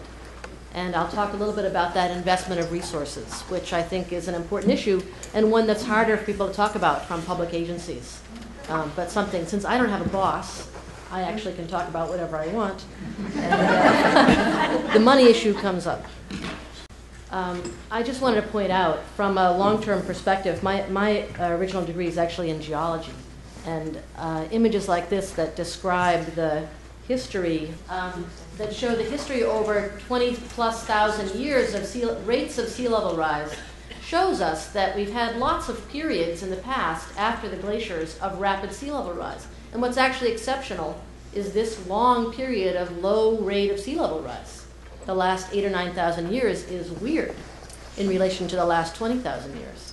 And that weirdness coincides with the time about seven, five to 7,000 years ago when we first started to build cities. We as human beings first started to live in cities on the coast during a time of much lower rates of sea level rise globally and uh, we've never had to manage cities during a period of rapid sea level rise, even though that's been typical for uh, coastal conditions over the last 20,000 years. So we have a whole new situation that we're get, we've gotten ourselves into, and uh, cities are relatively new in geologic time, so hopefully we'll be able to figure out a way to do this. It's also important to remember, I think, as Roger pointed out, this is recent um, modeling work by, the, uh, by NOAA from 2013 uh, showing how precipitation is going to increase or is predicted to increase in most parts of the, uh, the world, especially the Northern Hemisphere. And this uh, color chart is showing us the percent by which the maximum precipitation event may increase. so all this dark green is 30% plus precipitation in the maximum event. So at the same time we're talking about sea level rising, we're talking about potentially very large changes in how much water comes with big rainstorm events. And that land and sea combination is really what creates the challenge at the coast. Um, I can tell you about a couple things that don't work well, so that hopefully you could not do them. and this is from my work in New Orleans and my work on, in the U.S. Uh, Virginia coast um, Virginia and North Carolina. Uh, abandoning structures in the intertidal zone. This has become a kind of common thing in the Chesapeake Bay Islands, where uh, subsidence of the land, the land is sinking at the same time the sea has been rising, has created some really challenging situations. And uh, building concrete flood walls on top of earthen levees in New Orleans um, is a strategy we're hearing people talk about now around the United States. Uh, both of them are pretty bad. I'll show you some images that help me explain why. But the piece of what we're looking for in strategies people are using around the world is multifunctionality. Because as we think about multifunctionality, we can think about the value of the investment in a broader way. Um, if we think about just, if we, I'll talk uh, shortly about how people um, value things with things like net present value, which some of you may have heard of. But uh, if we value the benefits of our structures across multiple issues recreational benefits, tourism benefits, um, ecosystem services benefits, and not just the flood prevention benefit, then we can see how doing some of this earlier makes financial sense. If we talk about it only in terms of avoiding flood damage, then we wait until the actual flood events come to spend the money because we can't justify spending it today. So it's very important to look for multifunctionality. And as the Dutch say, to look at quality of life, to think about living with water as part of quality of life, and improving the uh, suitability of your city for investment by international investors, not just thinking about preventing a disaster. So, uh, retreat with ruins is basically currently the East Coast strategy, although uh, New Jersey and New York are starting to think about what else they could do the, the real drag of this strategy is that uh, not only do people lose the use of these homes, they're usually uh, vacation homes, but they had to actually, um, they, well, they lose the long term benefit of not being able to pass on the value of the second home to their children, but they also uh, had to pay to remove these structures eventually once they were in the intertidal zone. So there's a lot of cost for the homeowner in the abandonment strategy um, if the state and federal agencies hold the line and say, you're responsible for that structure. Um, and this is a New Orleans shot, a famous one by Mario Tama, a photographer. And it shows how, it, I think it's actually a stage shot. I don't know how these girls got up on that flood wall. um, it seems unlikely to me. But whatever, they are up on the flood wall, and they're up on the flood wall because that's the only way you can see the water in New Orleans. People live behind these walls and they forget the world that they depend on outside those walls. Their safety depends on understanding the water, but the water is all outside the walls. So it's like living in a medieval city and trying to understand international trade. If you're behind a wall, you don't learn what's going on.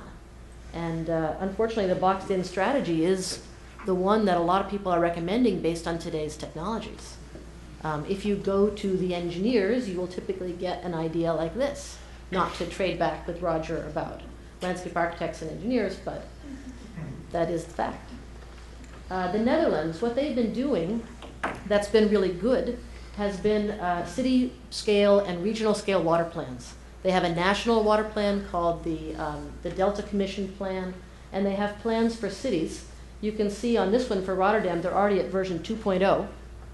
Uh, New Orleans has, we just did the very first one for New Orleans and there aren't many that exist for American cities in general, that look at all of the water systems. This is the beauty of the Dutch approach, is that they are looking now at uh, river flooding, local rain. Of course, river flooding for the Dutch means a rainstorm that happens in the Czech Republic.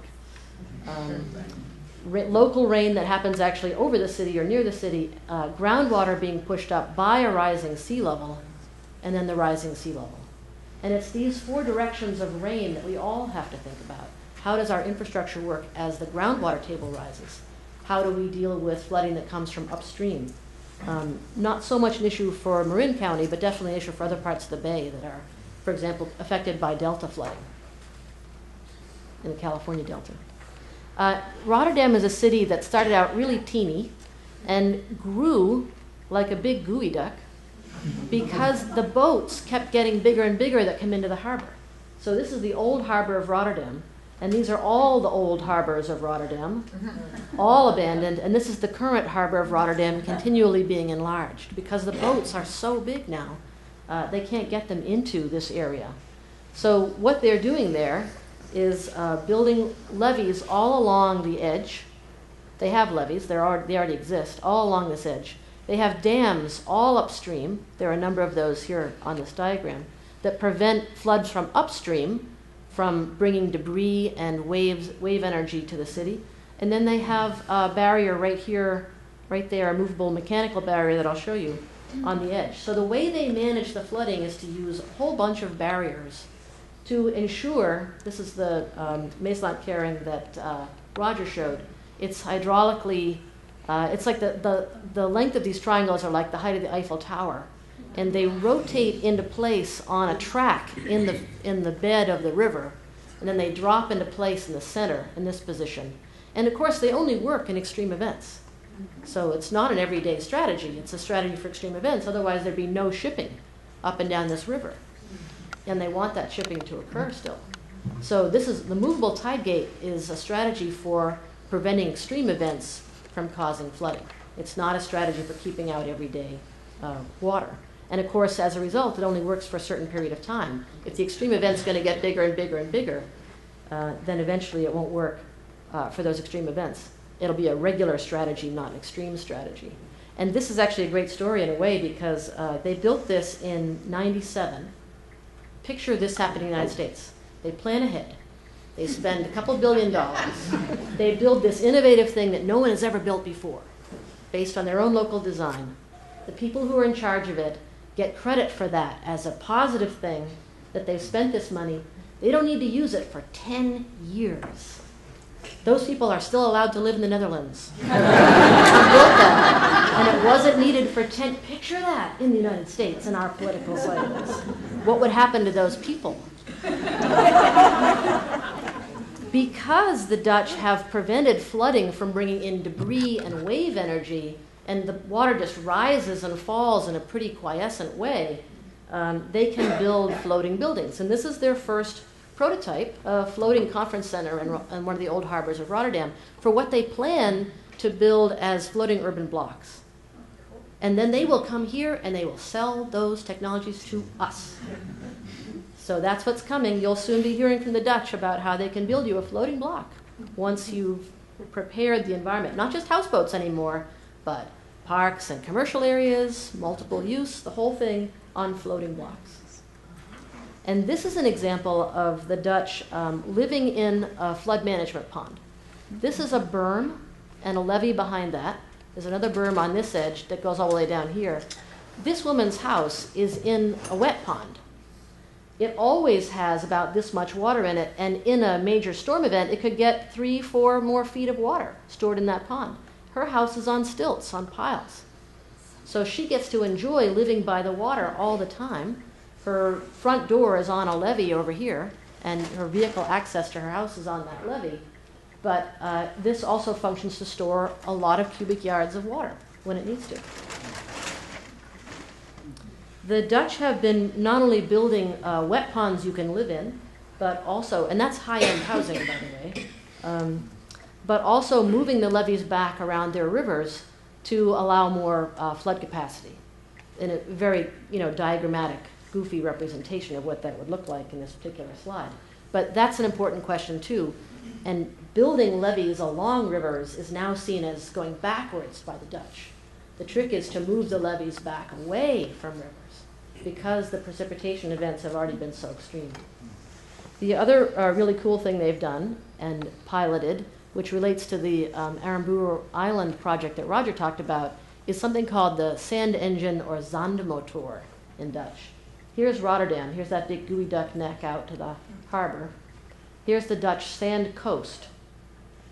Um, a lot of people would have said and did say in the 1980s that if sea level rises the way we think it's going to, the Dutch are going to have to move to Germany.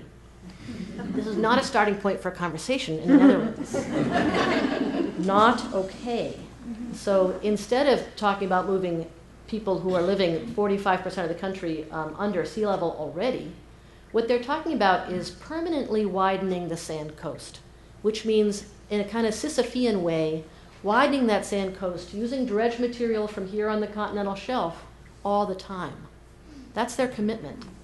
And uh, they do that in fun ways, interesting ways. But their latest strategy is to build a feature, um, which is essentially a sandy uh, delta, a sand spit. But Roger talked about what, five to 6,000 cubic yards of sand for the beach restoration? 28 million cubic yards of sand.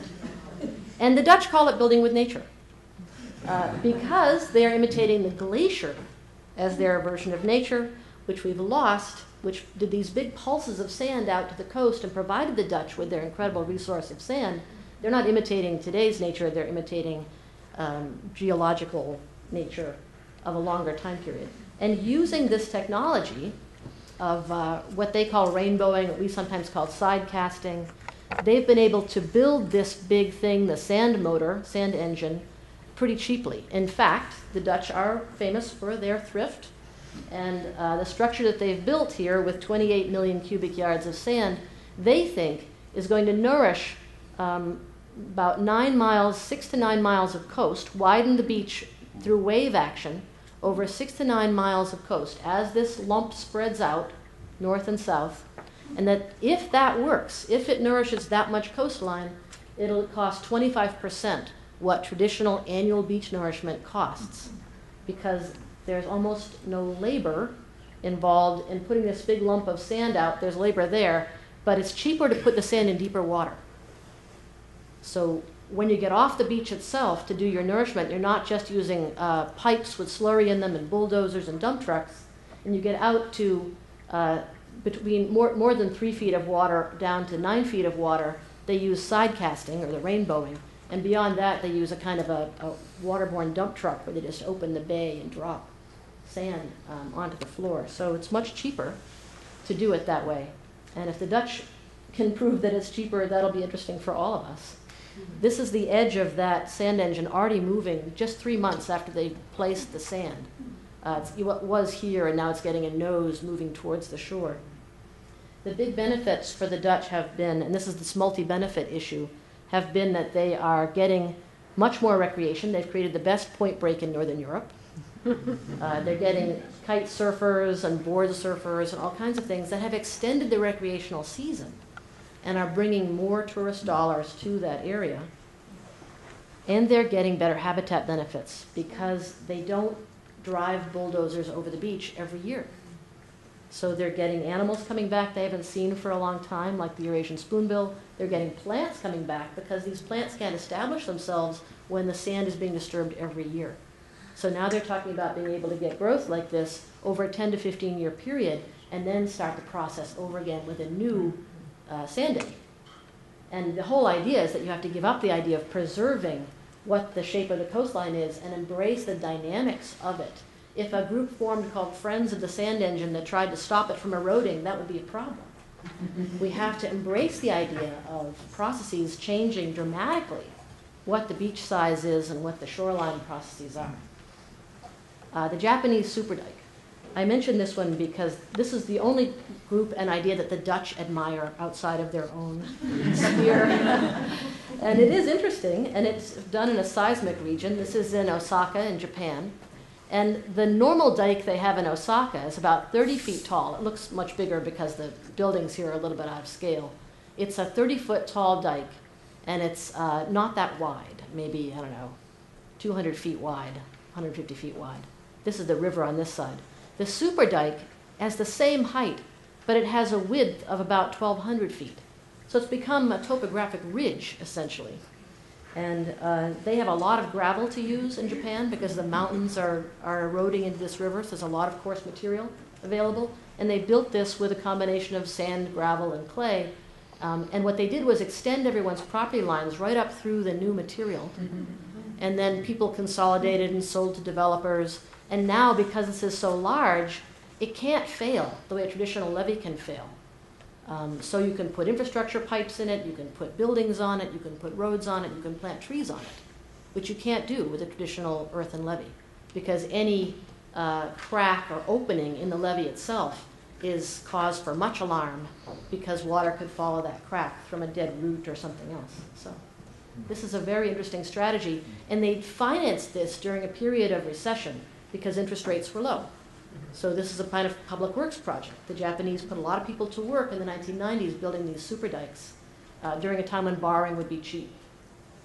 This is what it looks like in a photograph. It's kind of hard to see because we're looking at it from above, but it has a lot of potential to function as a public landscape. This is one that's being proposed for Taipei and Taiwan, where they currently have a flood wall 20 feet high running along a highway, and the proposal is to make that flood wall interact more with a super levee, super dike, and make that super dike into a park. So it's an idea for a public landscape that would be uh, function as storm protection. And they have to plan for the tsunami wave, a very large tsunami wave, as well as typhoons. Um, and that's actually an interesting problem that uh, I'll talk more about just in a second, which is that the extremes are driving the response. As we saw the steel flood wall in New Jersey, if you live in a region, and most regions of the world have this problem, where hurricanes and typhoons can come in with a 30 foot high wall of water. You plan for that. And three to six feet of sea level rise doesn't sound like that big a deal. In New Orleans, you actually cannot have a conversation about sea level rise because people think three feet, six feet, no big deal. They're talking about 30 feet. And they know it's going to happen again in their lifetimes. So when you work in an environment with extremes, you end up having to plan and deal with those extremes all the time. In the Bay Area, we have a very special opportunity to look at this as an incremental process. We are better off than most of the United States. That's actually why I would argue we're not going to get federal money. Mm-hmm. Because those disasters are going to over and over again drive the federal response. And it's going to be tough to abandon New York City. So they're going to get money over and over again, and the West Coast is not going to get much money from the federal government. It's going to look relatively good. Um, let me tell you briefly about this Hamburg situation, it, which is that they have a port in the city, um, about 140 kilometers, or what's that, 80 miles from the North Sea, and they want to bring these very deep boats in. Um, so they keep that river open, and as a result of all the dredging on this river, partly, they get very big floods, the St. Pauli um, in Hamburg. And you can see the floating walkways are going up from the land because the water level is so much higher. About 10 feet of flooding in this fish market building here. And most of the city is up on a bluff. Um, this is the, it's not really, it's part levee and part natural um, escarpment. And the warehouse district that used to go with the port is now not used because we don't package and unpackage things at ports anymore. We just unload containers and put them on trains. So this has been redeveloped as housing, um, and it's down in the flood zone. So they tried to figure out some way to do it, and they basically hired a Dutch urban designer who said, uh, let's put these buildings all up on a pile of dirt. So we'll pile up compacted earth underneath them. We'll put parking garages on the first floor instead of residences and commercial uses and we'll build a seawall all along the edge. And uh, that hardened first story functions as a floodable environment. Give this a look. Uh, here's the walk, public uh, walkway. We normally in urban design would not appreciate having a first floor that has no windows and nothing to look at, but in this environment you hardly notice because you're looking out at the water all the time. But watch this slide and what happens to the water. Here's low tide in Hamburg. Here's high tide in Hamburg. So it's all still in the face of that seawall. Here's the storm flood, and it's halfway up the first floor. But it's all been hardened and designed for that. So the uh, parking garages on the parks, here's an image of the park. Um, These are floating parks, floating beaches in some areas. People hang out on towels and float up and down attached to pilings. This is a hardened park, almost all concrete, because the storm flood comes in with waves and with woody debris. So it has to be hardened to accept that, pretty dramatic. And they have um, gasket-lined parking garages underneath here. So when the flood comes, there's a warning. They know about 24 to 72 hours in advance. The warning goes out, and you have to remember to put your car in the parking garage. Um, and there's an emergency walkway at uh, 20 plus feet above the street, and that's how people get around when it floods. But the whole development is designed to be livable when it is flooded. So it's at the point where people don't evacuate, they bring the kids down to check it out. And occasionally somebody, there's a little car over here, somebody might forget to put their car in the garage because they're in Malaga, and that's their problem. But people here are adapting to the floods by being aware of them. This is the exact opposite of the New Orleans strategy, of living in a box behind the walls and not being aware of the water at all. And I think it has a lot to offer us. In the United Kingdom, I just want to show a quick example of, I'm sorry, this is uh, London here. I'm so used to looking at it. This is um, Isle of Dogs, Canary Wharf. This is central historic London, and this is the greater London area. In the East London Green Grid project, here's the central London, central city area, and the Isle of Dogs, Canary Wharf, and the Thames River flowing out to the channel. They have taken all the tributary valleys and purchased this land. Almost all this land shown here in color has been purchased by the public to provide uh, storage for extreme rain events as a way of managing the flooding in London. They have a floodgate at the end of every one of these tributaries. And they manage all of these little floodgates along with the big uh, Thames barrier as a system, which is very complicated. This is the Thames barrier here. Looks like silver slippers, but uh, it actually, I think I had a slide of um, what that looks like from the side. And of course, it won an award from the stainless steel people. the nice thing about it is that it actually kind of looks like a helmet. And aesthetically, it suggests to people who have seen the archaeological uh, products from Sutton Hoo and other places a kind of 8th century Anglo-Saxon warrior helmet. And that's a great way to tap people's deeper cultural associations instead of just building a big wall out of concrete. It's a very interesting design in that way. But what I wanted to show you is what Sarah kind of showed us. If you arrange strategies based on sea level uh, possible levels, and then you think about it as a flow chart and how you would move through it to get to having your system ready for different sea levels, it avoids the whole conversation about when is this new sea level going to happen, which gets us bogged down. So in that sense, it's really good to be able to show people that there are ways to get to two meters, um, following a pathway through this. We could think about taking this path through and making those changes, and we can assign a dollar figure to each pathway. And think about which is more expensive and less expensive, and what we would do at what point in time. And I call this the just-in-time borrowing or funding method. And it sounds good to the British, they've adopted it. They think that this is an appropriate thing to borrow when you need it. But I have to say, when they need it, we will need it. Florida will need it. Thailand will need it. India will need it. Everybody will need it. So when people are borrowing money and everyone's borrowing at the same time, you know interest rates go up. So this is a very expensive strategy when you think about it, because it's not just happening in the UK. When they get to two meters, we'll all be at two meters. Everyone's going to need the same resources. So the cost of borrowing will go way up. In that sense, the, um, the strategy for how you borrow is very important, if you're borrowing.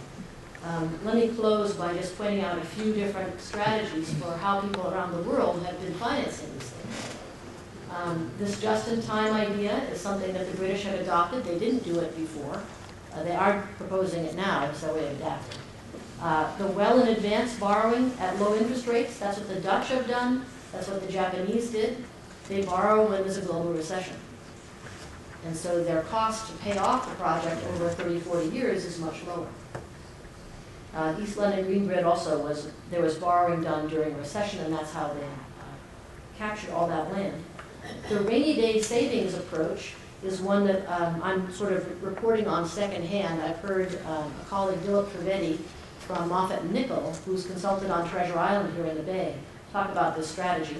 So I've listed Treasure Island.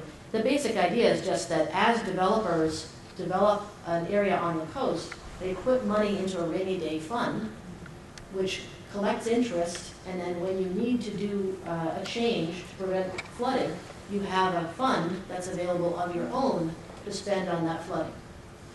And that's a different idea, you don't have to borrow.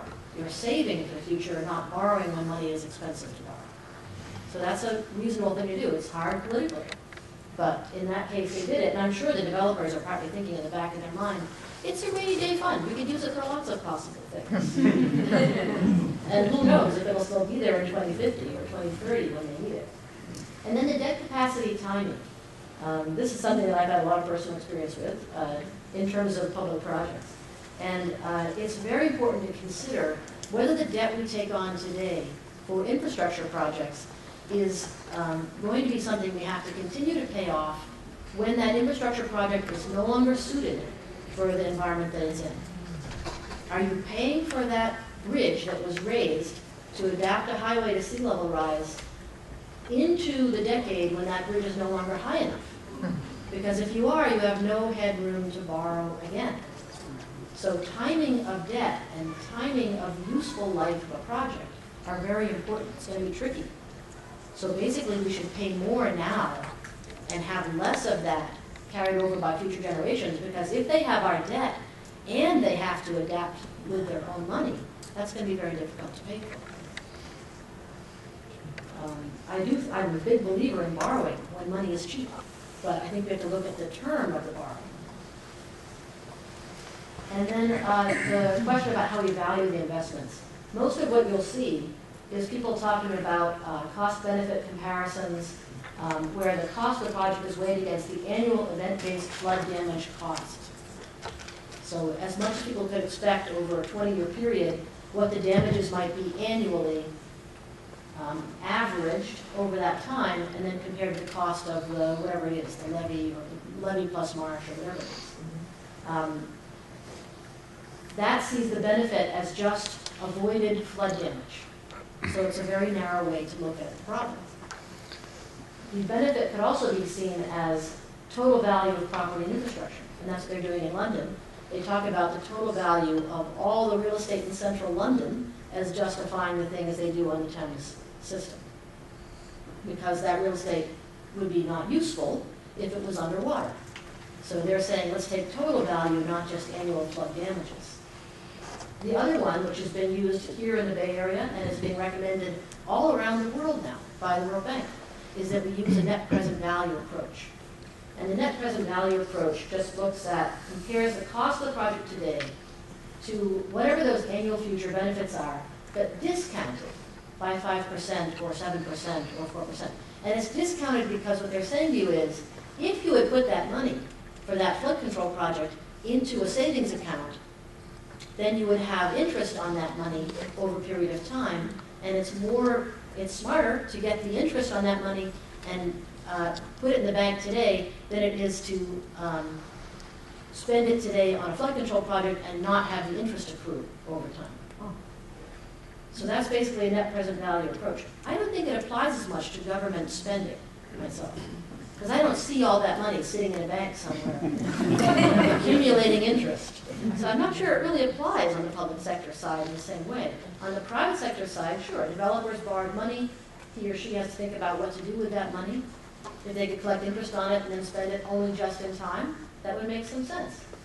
But what they don't do in these, in these net present value assessments typically is think about the multiple benefits. What are the ecosystem service benefits of the marsh? What are the uh, benefits of recreation?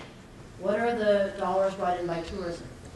What are the willingness to pay contingent benefits of people who love the shoreline and spend every day walking and jogging along it? So we have to ask ourselves a wider spectrum of what are our values And that wider spectrum typically leads us to different solutions. If we include ecosystem services, recreation, cultural benefits, we tend to see a diff, we will see a potentially radically different evaluation of project alternatives. The World Bank is basically saying, you, should do the thing that has the net, highest net present value. Done. Problem solved. Uh, but how you calculate net present value can be myopic or it can be multi-spectrum and more holistic. The horizontal levee proposal that the Bay Institute has been putting out with support from consultants like ESA, PWA, um, is basically to say, let's have a levee, okay, let's accept the idea we have to have a levee for a lot of the day, and let's put this marsh on the outside.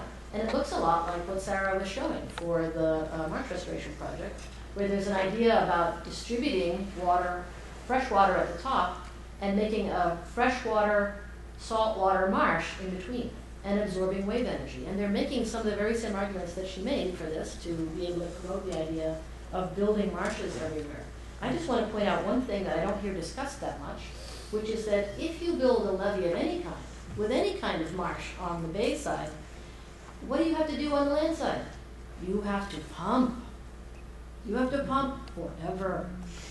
Once you decide to go with a levee or a, a, a flood wall, something which is a permanent barrier that doesn't allow water out, you have to pump. There go all your carbon emissions targets right there with the energy required for pumping, unless you can mobilize through it with biogas, like the East Bay MUD Treatment Plant provides itself with energy from biogas, or do it through maybe PV. I don't know how much PV that would take. You'd have PV all over this whole landscape here to be able to make that work, I think. Um, but right, that, that means that every pipe that carries rainwater or treated sewage water to the bay would have to have a pump. Or we'd have to collect them all at key points and pump over.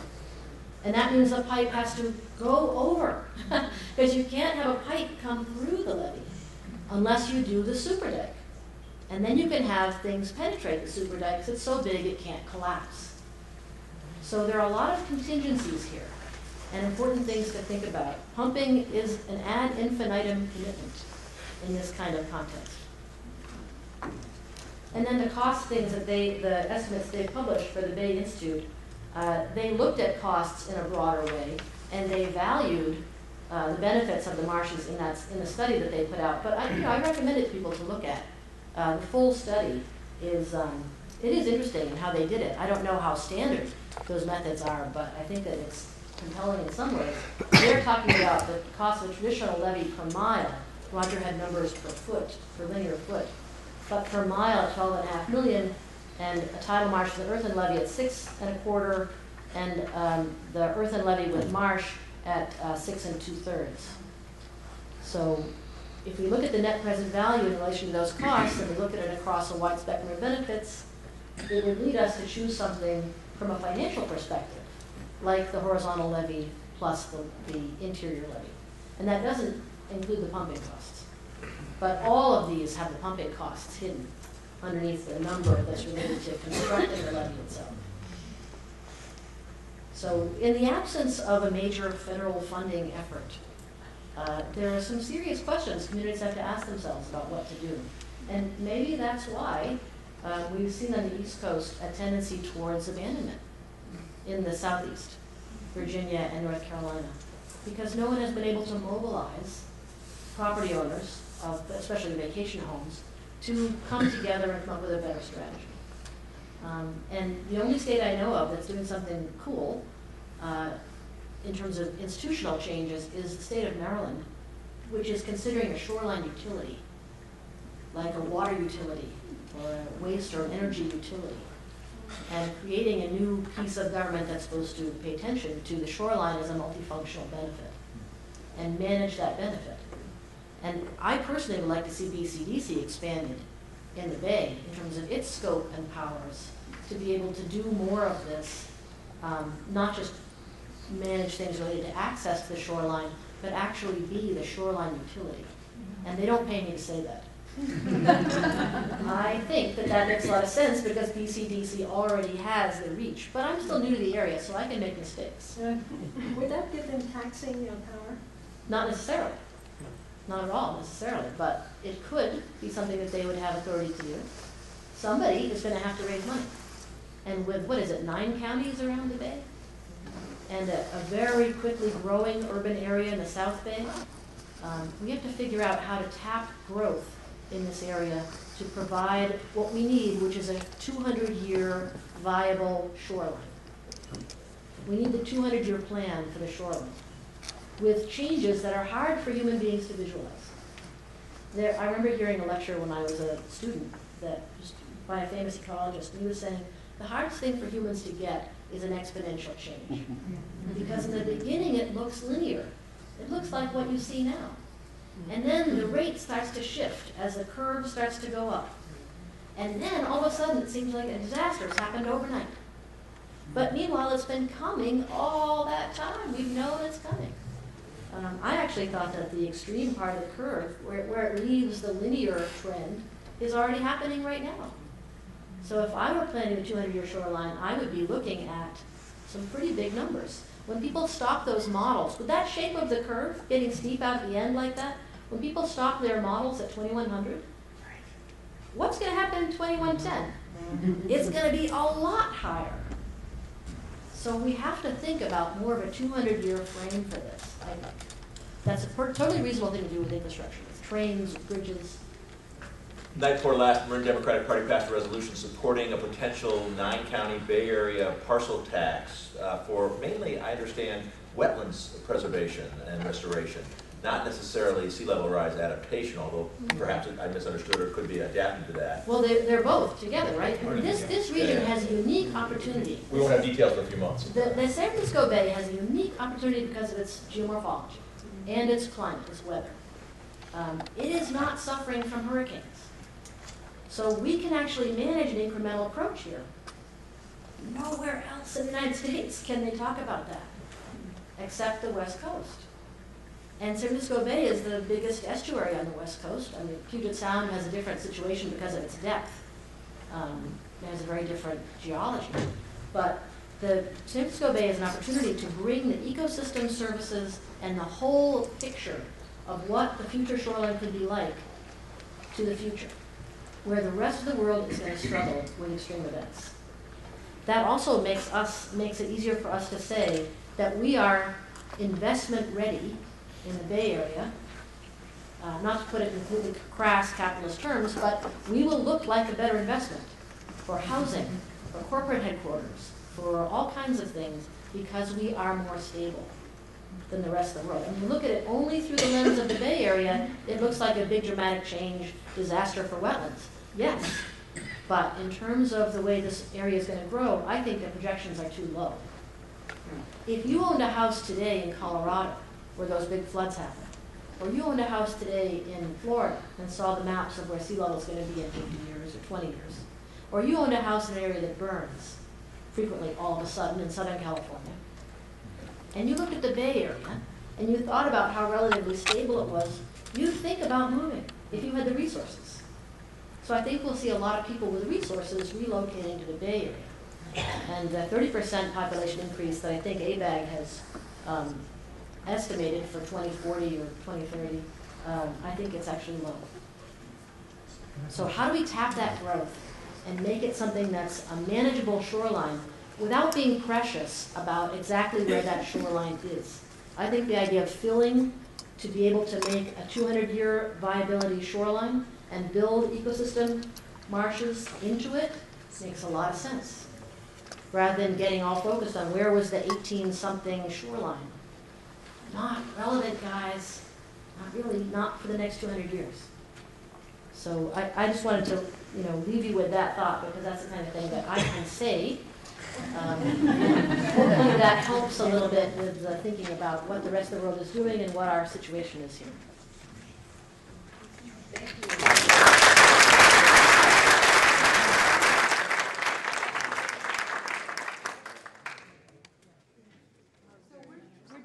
take a second, and the speakers are going to come up here, and we can have question and answers. And I think maybe the easiest way is if you have a question, just raise your hand.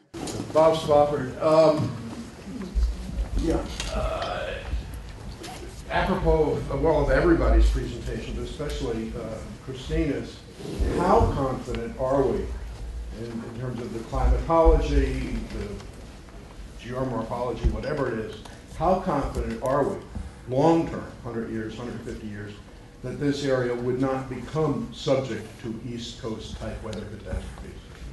40-foot storm surges coming through the gate, that sort of thing. I have never heard any climatologist say that that's a possibility.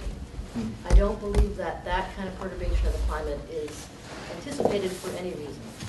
Just because of the existing wind current, you know, wind patterns in the west It's basin. coast and circulation, stuff? it's all about Yeah. global atmospheric circulation, Sure. and that seems to be, it's, it's changeable with climate change, but not that changeable. Not that change.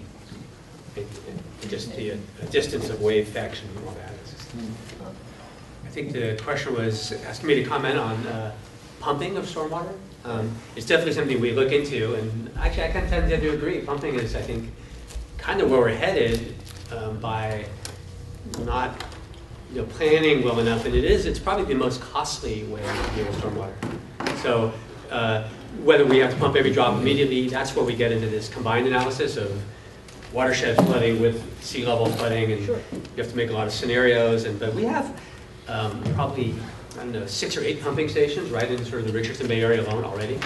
So we're headed towards a, uh, a future of more and more pumping, and I think, um, you know, it's, a- it's definitely problematic, so I kind of see, but, you know, we do have a certain, you know, other approaches, say in Ross Valley, are looking at detention storage, you know, building, uh, using, raising Phoenix Lake, using some ball fields for the storage, so, but the water doesn't go anywhere, so if you don't store it, you're gonna be pumping it, or you're gonna be flooding, so it, um, it's definitely a concern I have, because I think we do do a lot of pumping, and, um, it's very inefficient, and I think it, it's part of my thing, is let's, let's plan, because if we are gonna pump a lot, we should build a central generator. So Right now, we build generators for each pump.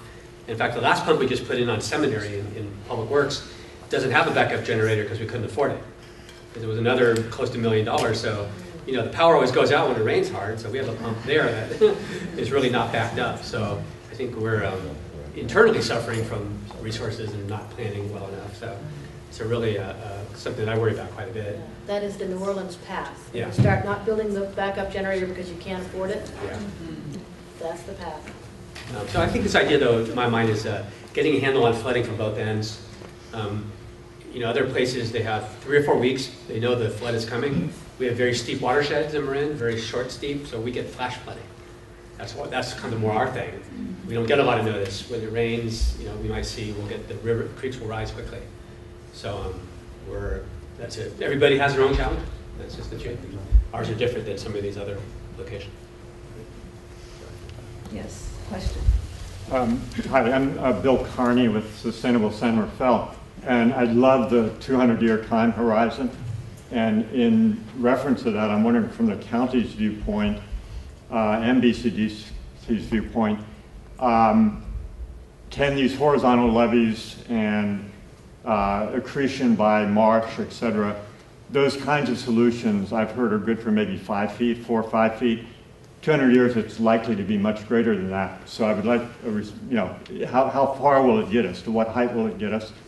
And then my other question, I'm really glad, Kristina, that you tied all this to money because it, it seems to me that that's really critical to getting anything done. And again, I go to this question of how high do we need to plan for, and therefore to complete that nexus, not just to dollars, but back to mitigation of climate change, which is going to drive this way over any levee we can build at this point, unless we mitigate. So how do we make that nexus, and maybe along the way get some of the primary causers of climate change, like the fossil fuel industry, to start paying for some of both the adaptation and the mitigation? Um, I'll jump in um, briefly and say that, yeah, the idea of the transition zone that I presented is what's called the horizontal levee. So we were talking about the same thing, just for clarification. And that zone makes a lot of sense when you already have a marsh. And so by building that gentle slope, you're essentially buying that marsh some time to try to preserve itself as sea level rises. But there is a point at which you have to return to the conversation and look about what it is protecting. And I think there was one bar on my adaptive management slide that says realign functions. Um, Ocean Beach is the best example that I can think of where they said, okay, we're gonna move Ocean Highway and start realigning the shoreline. And so that's a, a large, especially collaborative comprehensive planning question. And so I think that the, um, horizontal levee is sort of an in-between step before we have that conversation. In terms of how many feet it will buy, I think it depends on the site. But to the extent that humans take on a kind of geologic role, uh, like the Dutch have been willing to do already with the idea of the sand engine, um, we can build a super dike that would go 50 feet high. We will have to get a lot of material. and some of that will probably be urban rubble that we recycle. But it's possible that some areas will invest in that. And it's possible we'll see it in some parts of the bay. I wouldn't be surprised to see places in the South Bay start thinking about that. Once they realize this is all happening for real, they have the money um, to move some material. And I think it can be done. But the question of marshes keeping up, um, even the cartoon that Sarah showed, shows that at some point topography doesn't allow the marsh to go up. Or the marsh is going to have to move onto some Walmart parking lot, and we're going to have to spend money to prepare the ground for that marsh. So there are definite challenges along the way. Um, I guess I prefer to think in the 200-year frame about something like a super levee that has a mudflat marsh side on it, and thinking like the Dutch, that we would take on the Sisyphean task of maintaining the toe of that levee with a biologically active shore forever. And I also hope that mitigation is part of the 200-year plan, because if not, if it is, then we can imagine sea level rise tailing off in rate. Not going down, but tailing off in rate. And then we can stop worrying so much about a huge super levee. If I can make just uh, a couple of the challenges, and this might change in the future, but as a culture, you know, working in, in here, the Europeans, um, uh, much more use of uh, things like eminent domain, things that, as a culture, we, especially in public works, we stay away from, you know, to the extent possible, and all that may change, may need to change. You know, there may need to be more focus on that, but we, you know, we, and, you know, there's a lot of private property owners, and as a government, we don't take, so it has to be kind of worked out, and I think there's a lot of challenges there. When you talk about these very, very high water levels, and I think you get into the big questions of, uh, should we abandon, should we you know, level Mount Tam and use that fill to raise a super dike. I mean, you know, we have the fill, let's get up there on the hill. Um, but, uh, but those questions are big and there's some, and they're almost beyond the comprehension of being little public works at this point.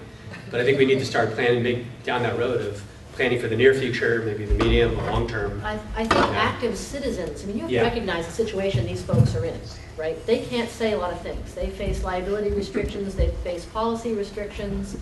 Uh, they're elected officials who are trying to manage their relationship to the truth and the public at the same time, while the media is kind of in the mix.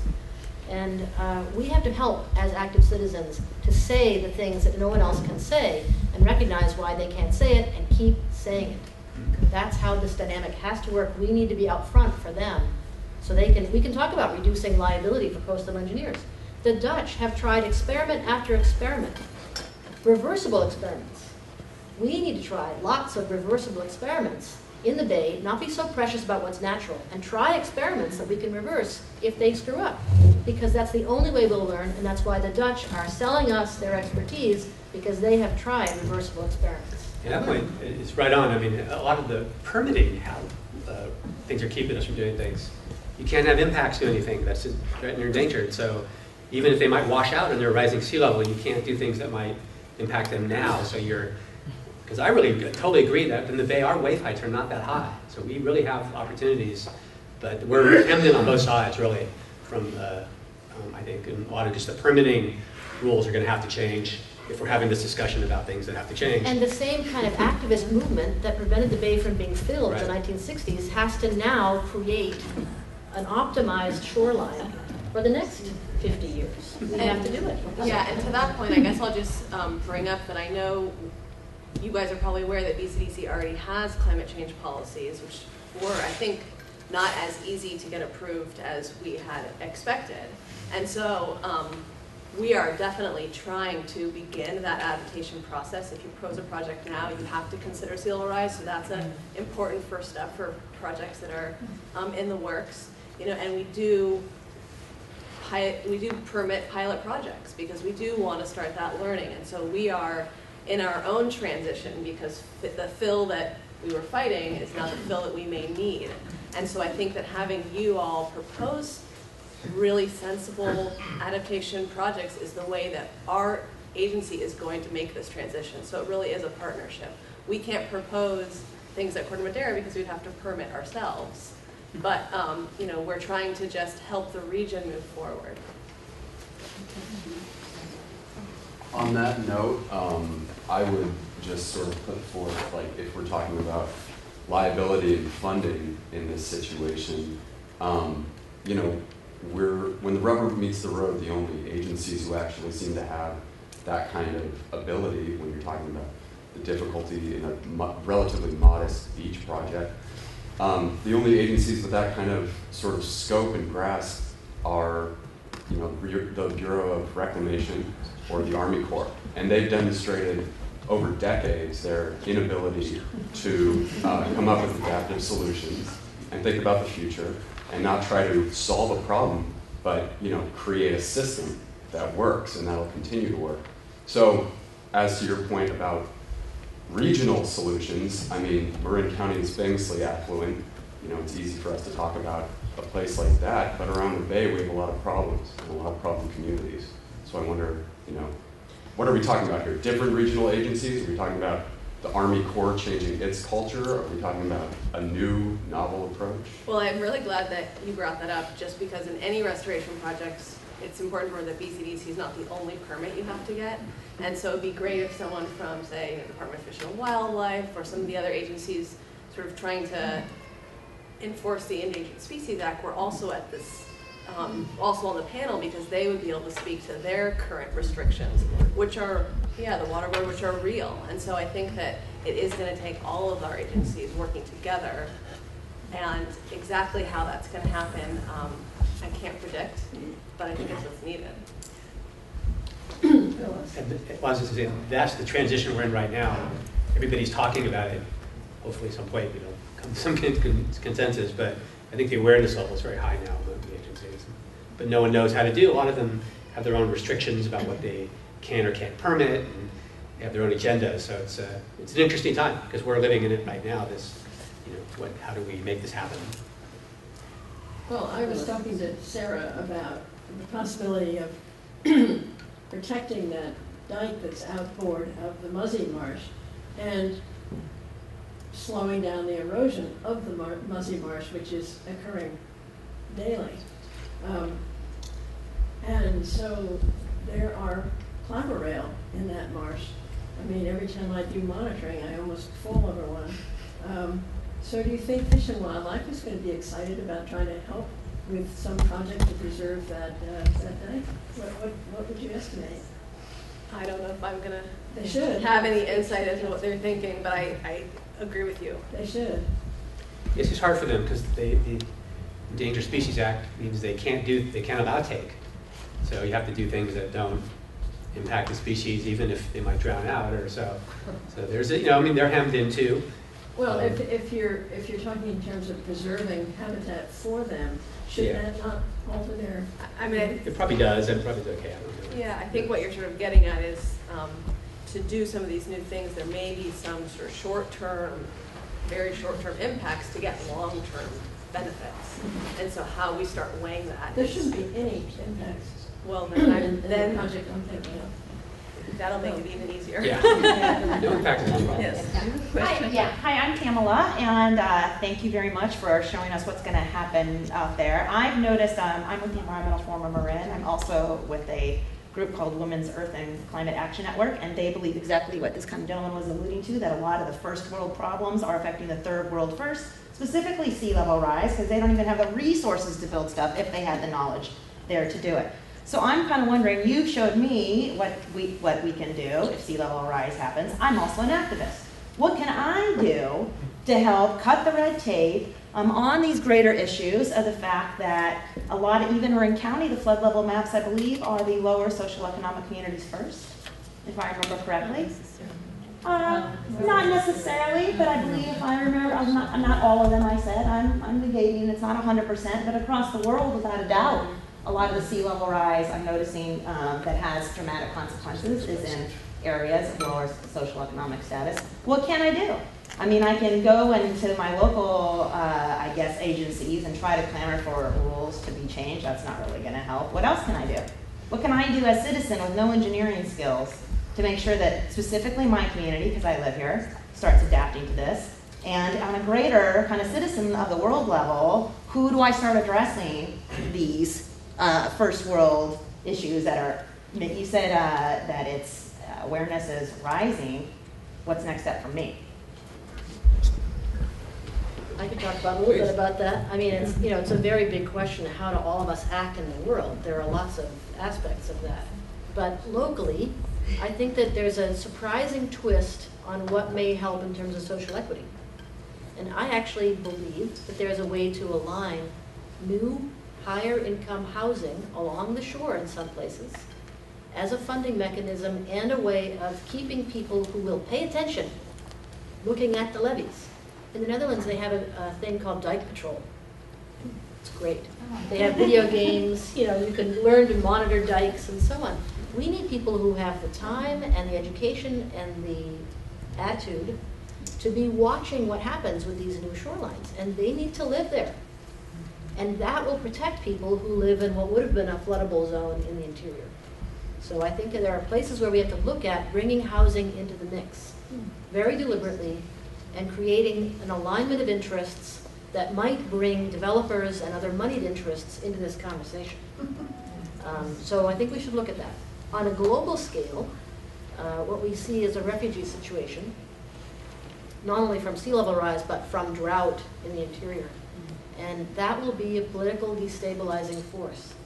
And what, if, what I think it's going to be is a huge distraction for the de developing some kind of solutions, because we'll make that into a military issue and not into an environmental issue. And that's something we all have to track as policy is being made, that we're not responding with guns to something we should have responded to with infrastructure. So whenever the Dutch tell me that their cities are becoming climate proof, I laugh and say, but what about your supply chain? What about your financial trading partners? If they're not climate proof too, you're not climate proof. London can never be climate proof because it's a financial hub. If, if the supply chain for manufacturing in Bangkok is affected by flooding, then the major companies will be affected and the economy will do a nosedive. I think that the, the world is now too economically tied together for us to say that we're not, that anybody can climate proof. So how do we spend our own money to make those places better? That's a really big question. I'll add that um, locally, um, we're, I think Richardson Bay, we're using it a little bit as a lab, and we're going to lay out some ideas for adaptation planning that might include you know, uh, areas, you know, where do we want to protect, where can we not afford in the long term, looking at phasing. And uh, sometimes the only people that show up at, at things are people who have interests.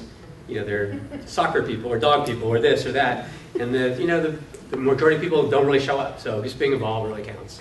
I can just tell you from a, a perspective, I'm sure, uh, you know, planning is the same thing, as that, uh, um, you know, support that other voices, a lot of people, the only people who show up often just are defending a small aspect of their, of what they're interested in, and not looking more regionally.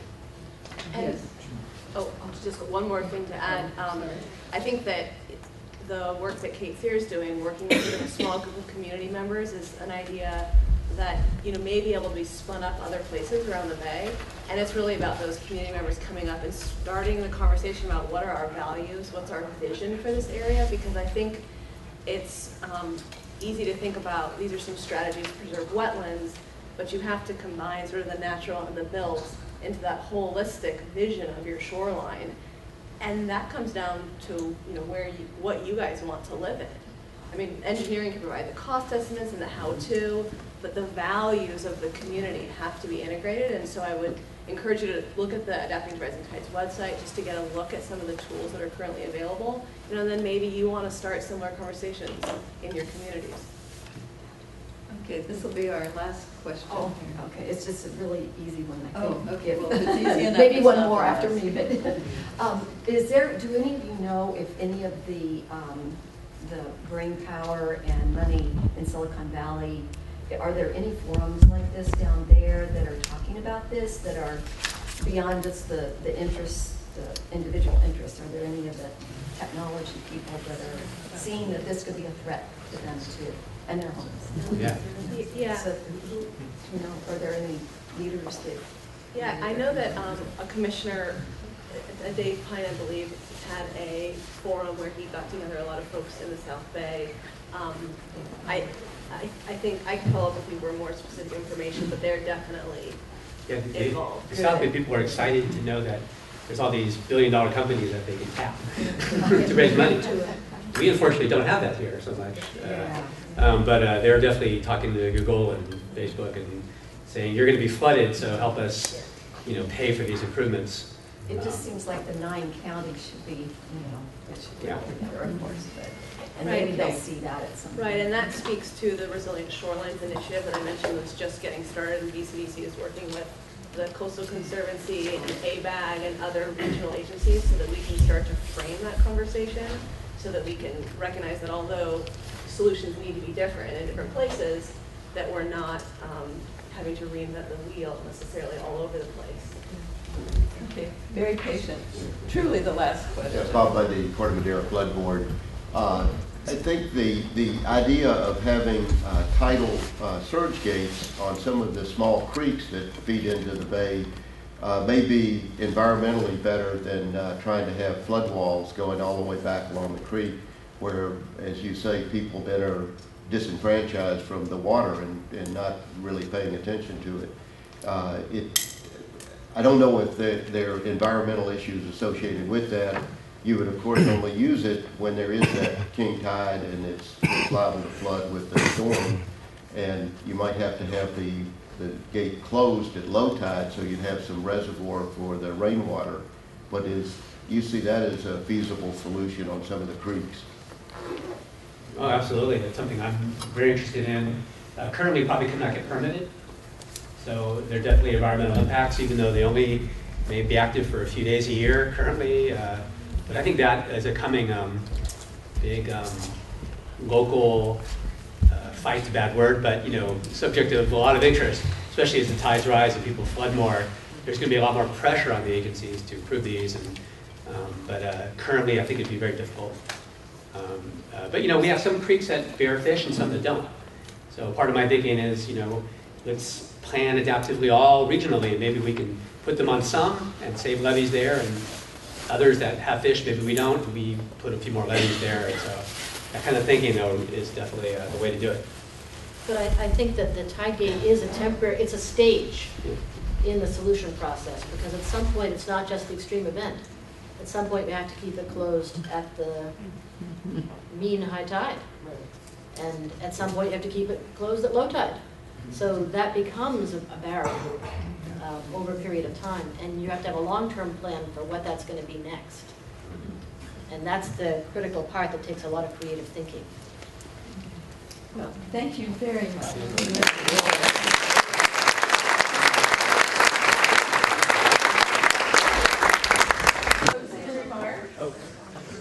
We want to thank you all for coming and hope that you've learned some things today that are food for thought. I think the speakers have demonstrated that there's a willingness for them as individual agencies to work together, but we really do think and, uh, and I think can see now that we need a collaborative approach. In terms of actions, as Tamala brought up and, and Christine responded to, one of the things you can do is every time you hear of projects in your community or you hear decision makers, we all have to convince and talk to them constantly that any project going forward must include evaluation and planning for sea level rise. This is something that we have to start budgeting for, including, I just got on a planning commission in Sausalito, and they're certainly going to be hearing it from me, but I think they knew that anyway. Um, we have to do this, and that's something every one of you can do. Um, recently, we had this huge project uh, for a new highway out here in, in Diane's area, Diane's community. Caltrans doesn't even, even consider sea level rise. This is absurd. So every time you have a chance to participate in your, at your city level, at your county level, talk about sea level rise. We've got to start the planning. I hope you enjoyed the speakers. We all did. Uh, I really appreciate that they all came. And, uh, Thank you all for coming. And just a couple more minutes. Uh, hope you'll join me in one last round of applause, not only for all our wonderful speakers, but our co-coordinators, Vicki Nichols and Sandy Goldman, and and the entire forum board. Thank you very much. You worked very hard. Again, as a follow-up on this session, the Marin Environmental Forum's website, marinefm.org. If you remember nothing else or write down nothing else, marinefm.org. Very important. Hopefully you'll check it regularly for a number of reasons. Upcoming sessions, follow-ups on this session, the master class coming in, in fall, uh, I'll mention again. But uh, do check that out, and, and we'll see what further information can be available. Sometimes we can put up some of these slide shows, sometimes we can't. Uh, as sometimes there's a glossary of terms, expanded reading resource lists, et cetera. We'll uh, put up as much as we can as soon as we can. And uh, please, uh, some of the speakers can hopefully hang around for a few more minutes in this room, or if we need to clear this room, out in the lobby. Make sure you all, if you do nothing else, take the bookmark with you. It has, you know, take several. You can carry them in your purse or your wallet or your pocket. Give them out to friends. We want as much attendance as possible. As I say, a lot of work goes into this. We want to share this. We're in the business of educating people. We're thrilled about this great turnout. Take the bookmarks with you, which give the dates and the topics. Uh, and there's some other literature, including a few flyers left, I think, on the back table uh, for the wildfire session, which is four weeks from today, right here, 9 to 12, wildfire, and then the final session on transportation and land use on uh, Wednesday, April 9th, from 7 to 9. Uh, I think that's just about it. Um, uh, hope we'll see as many of you as possible. Thank you again very much for coming, and keep on doing what you're doing.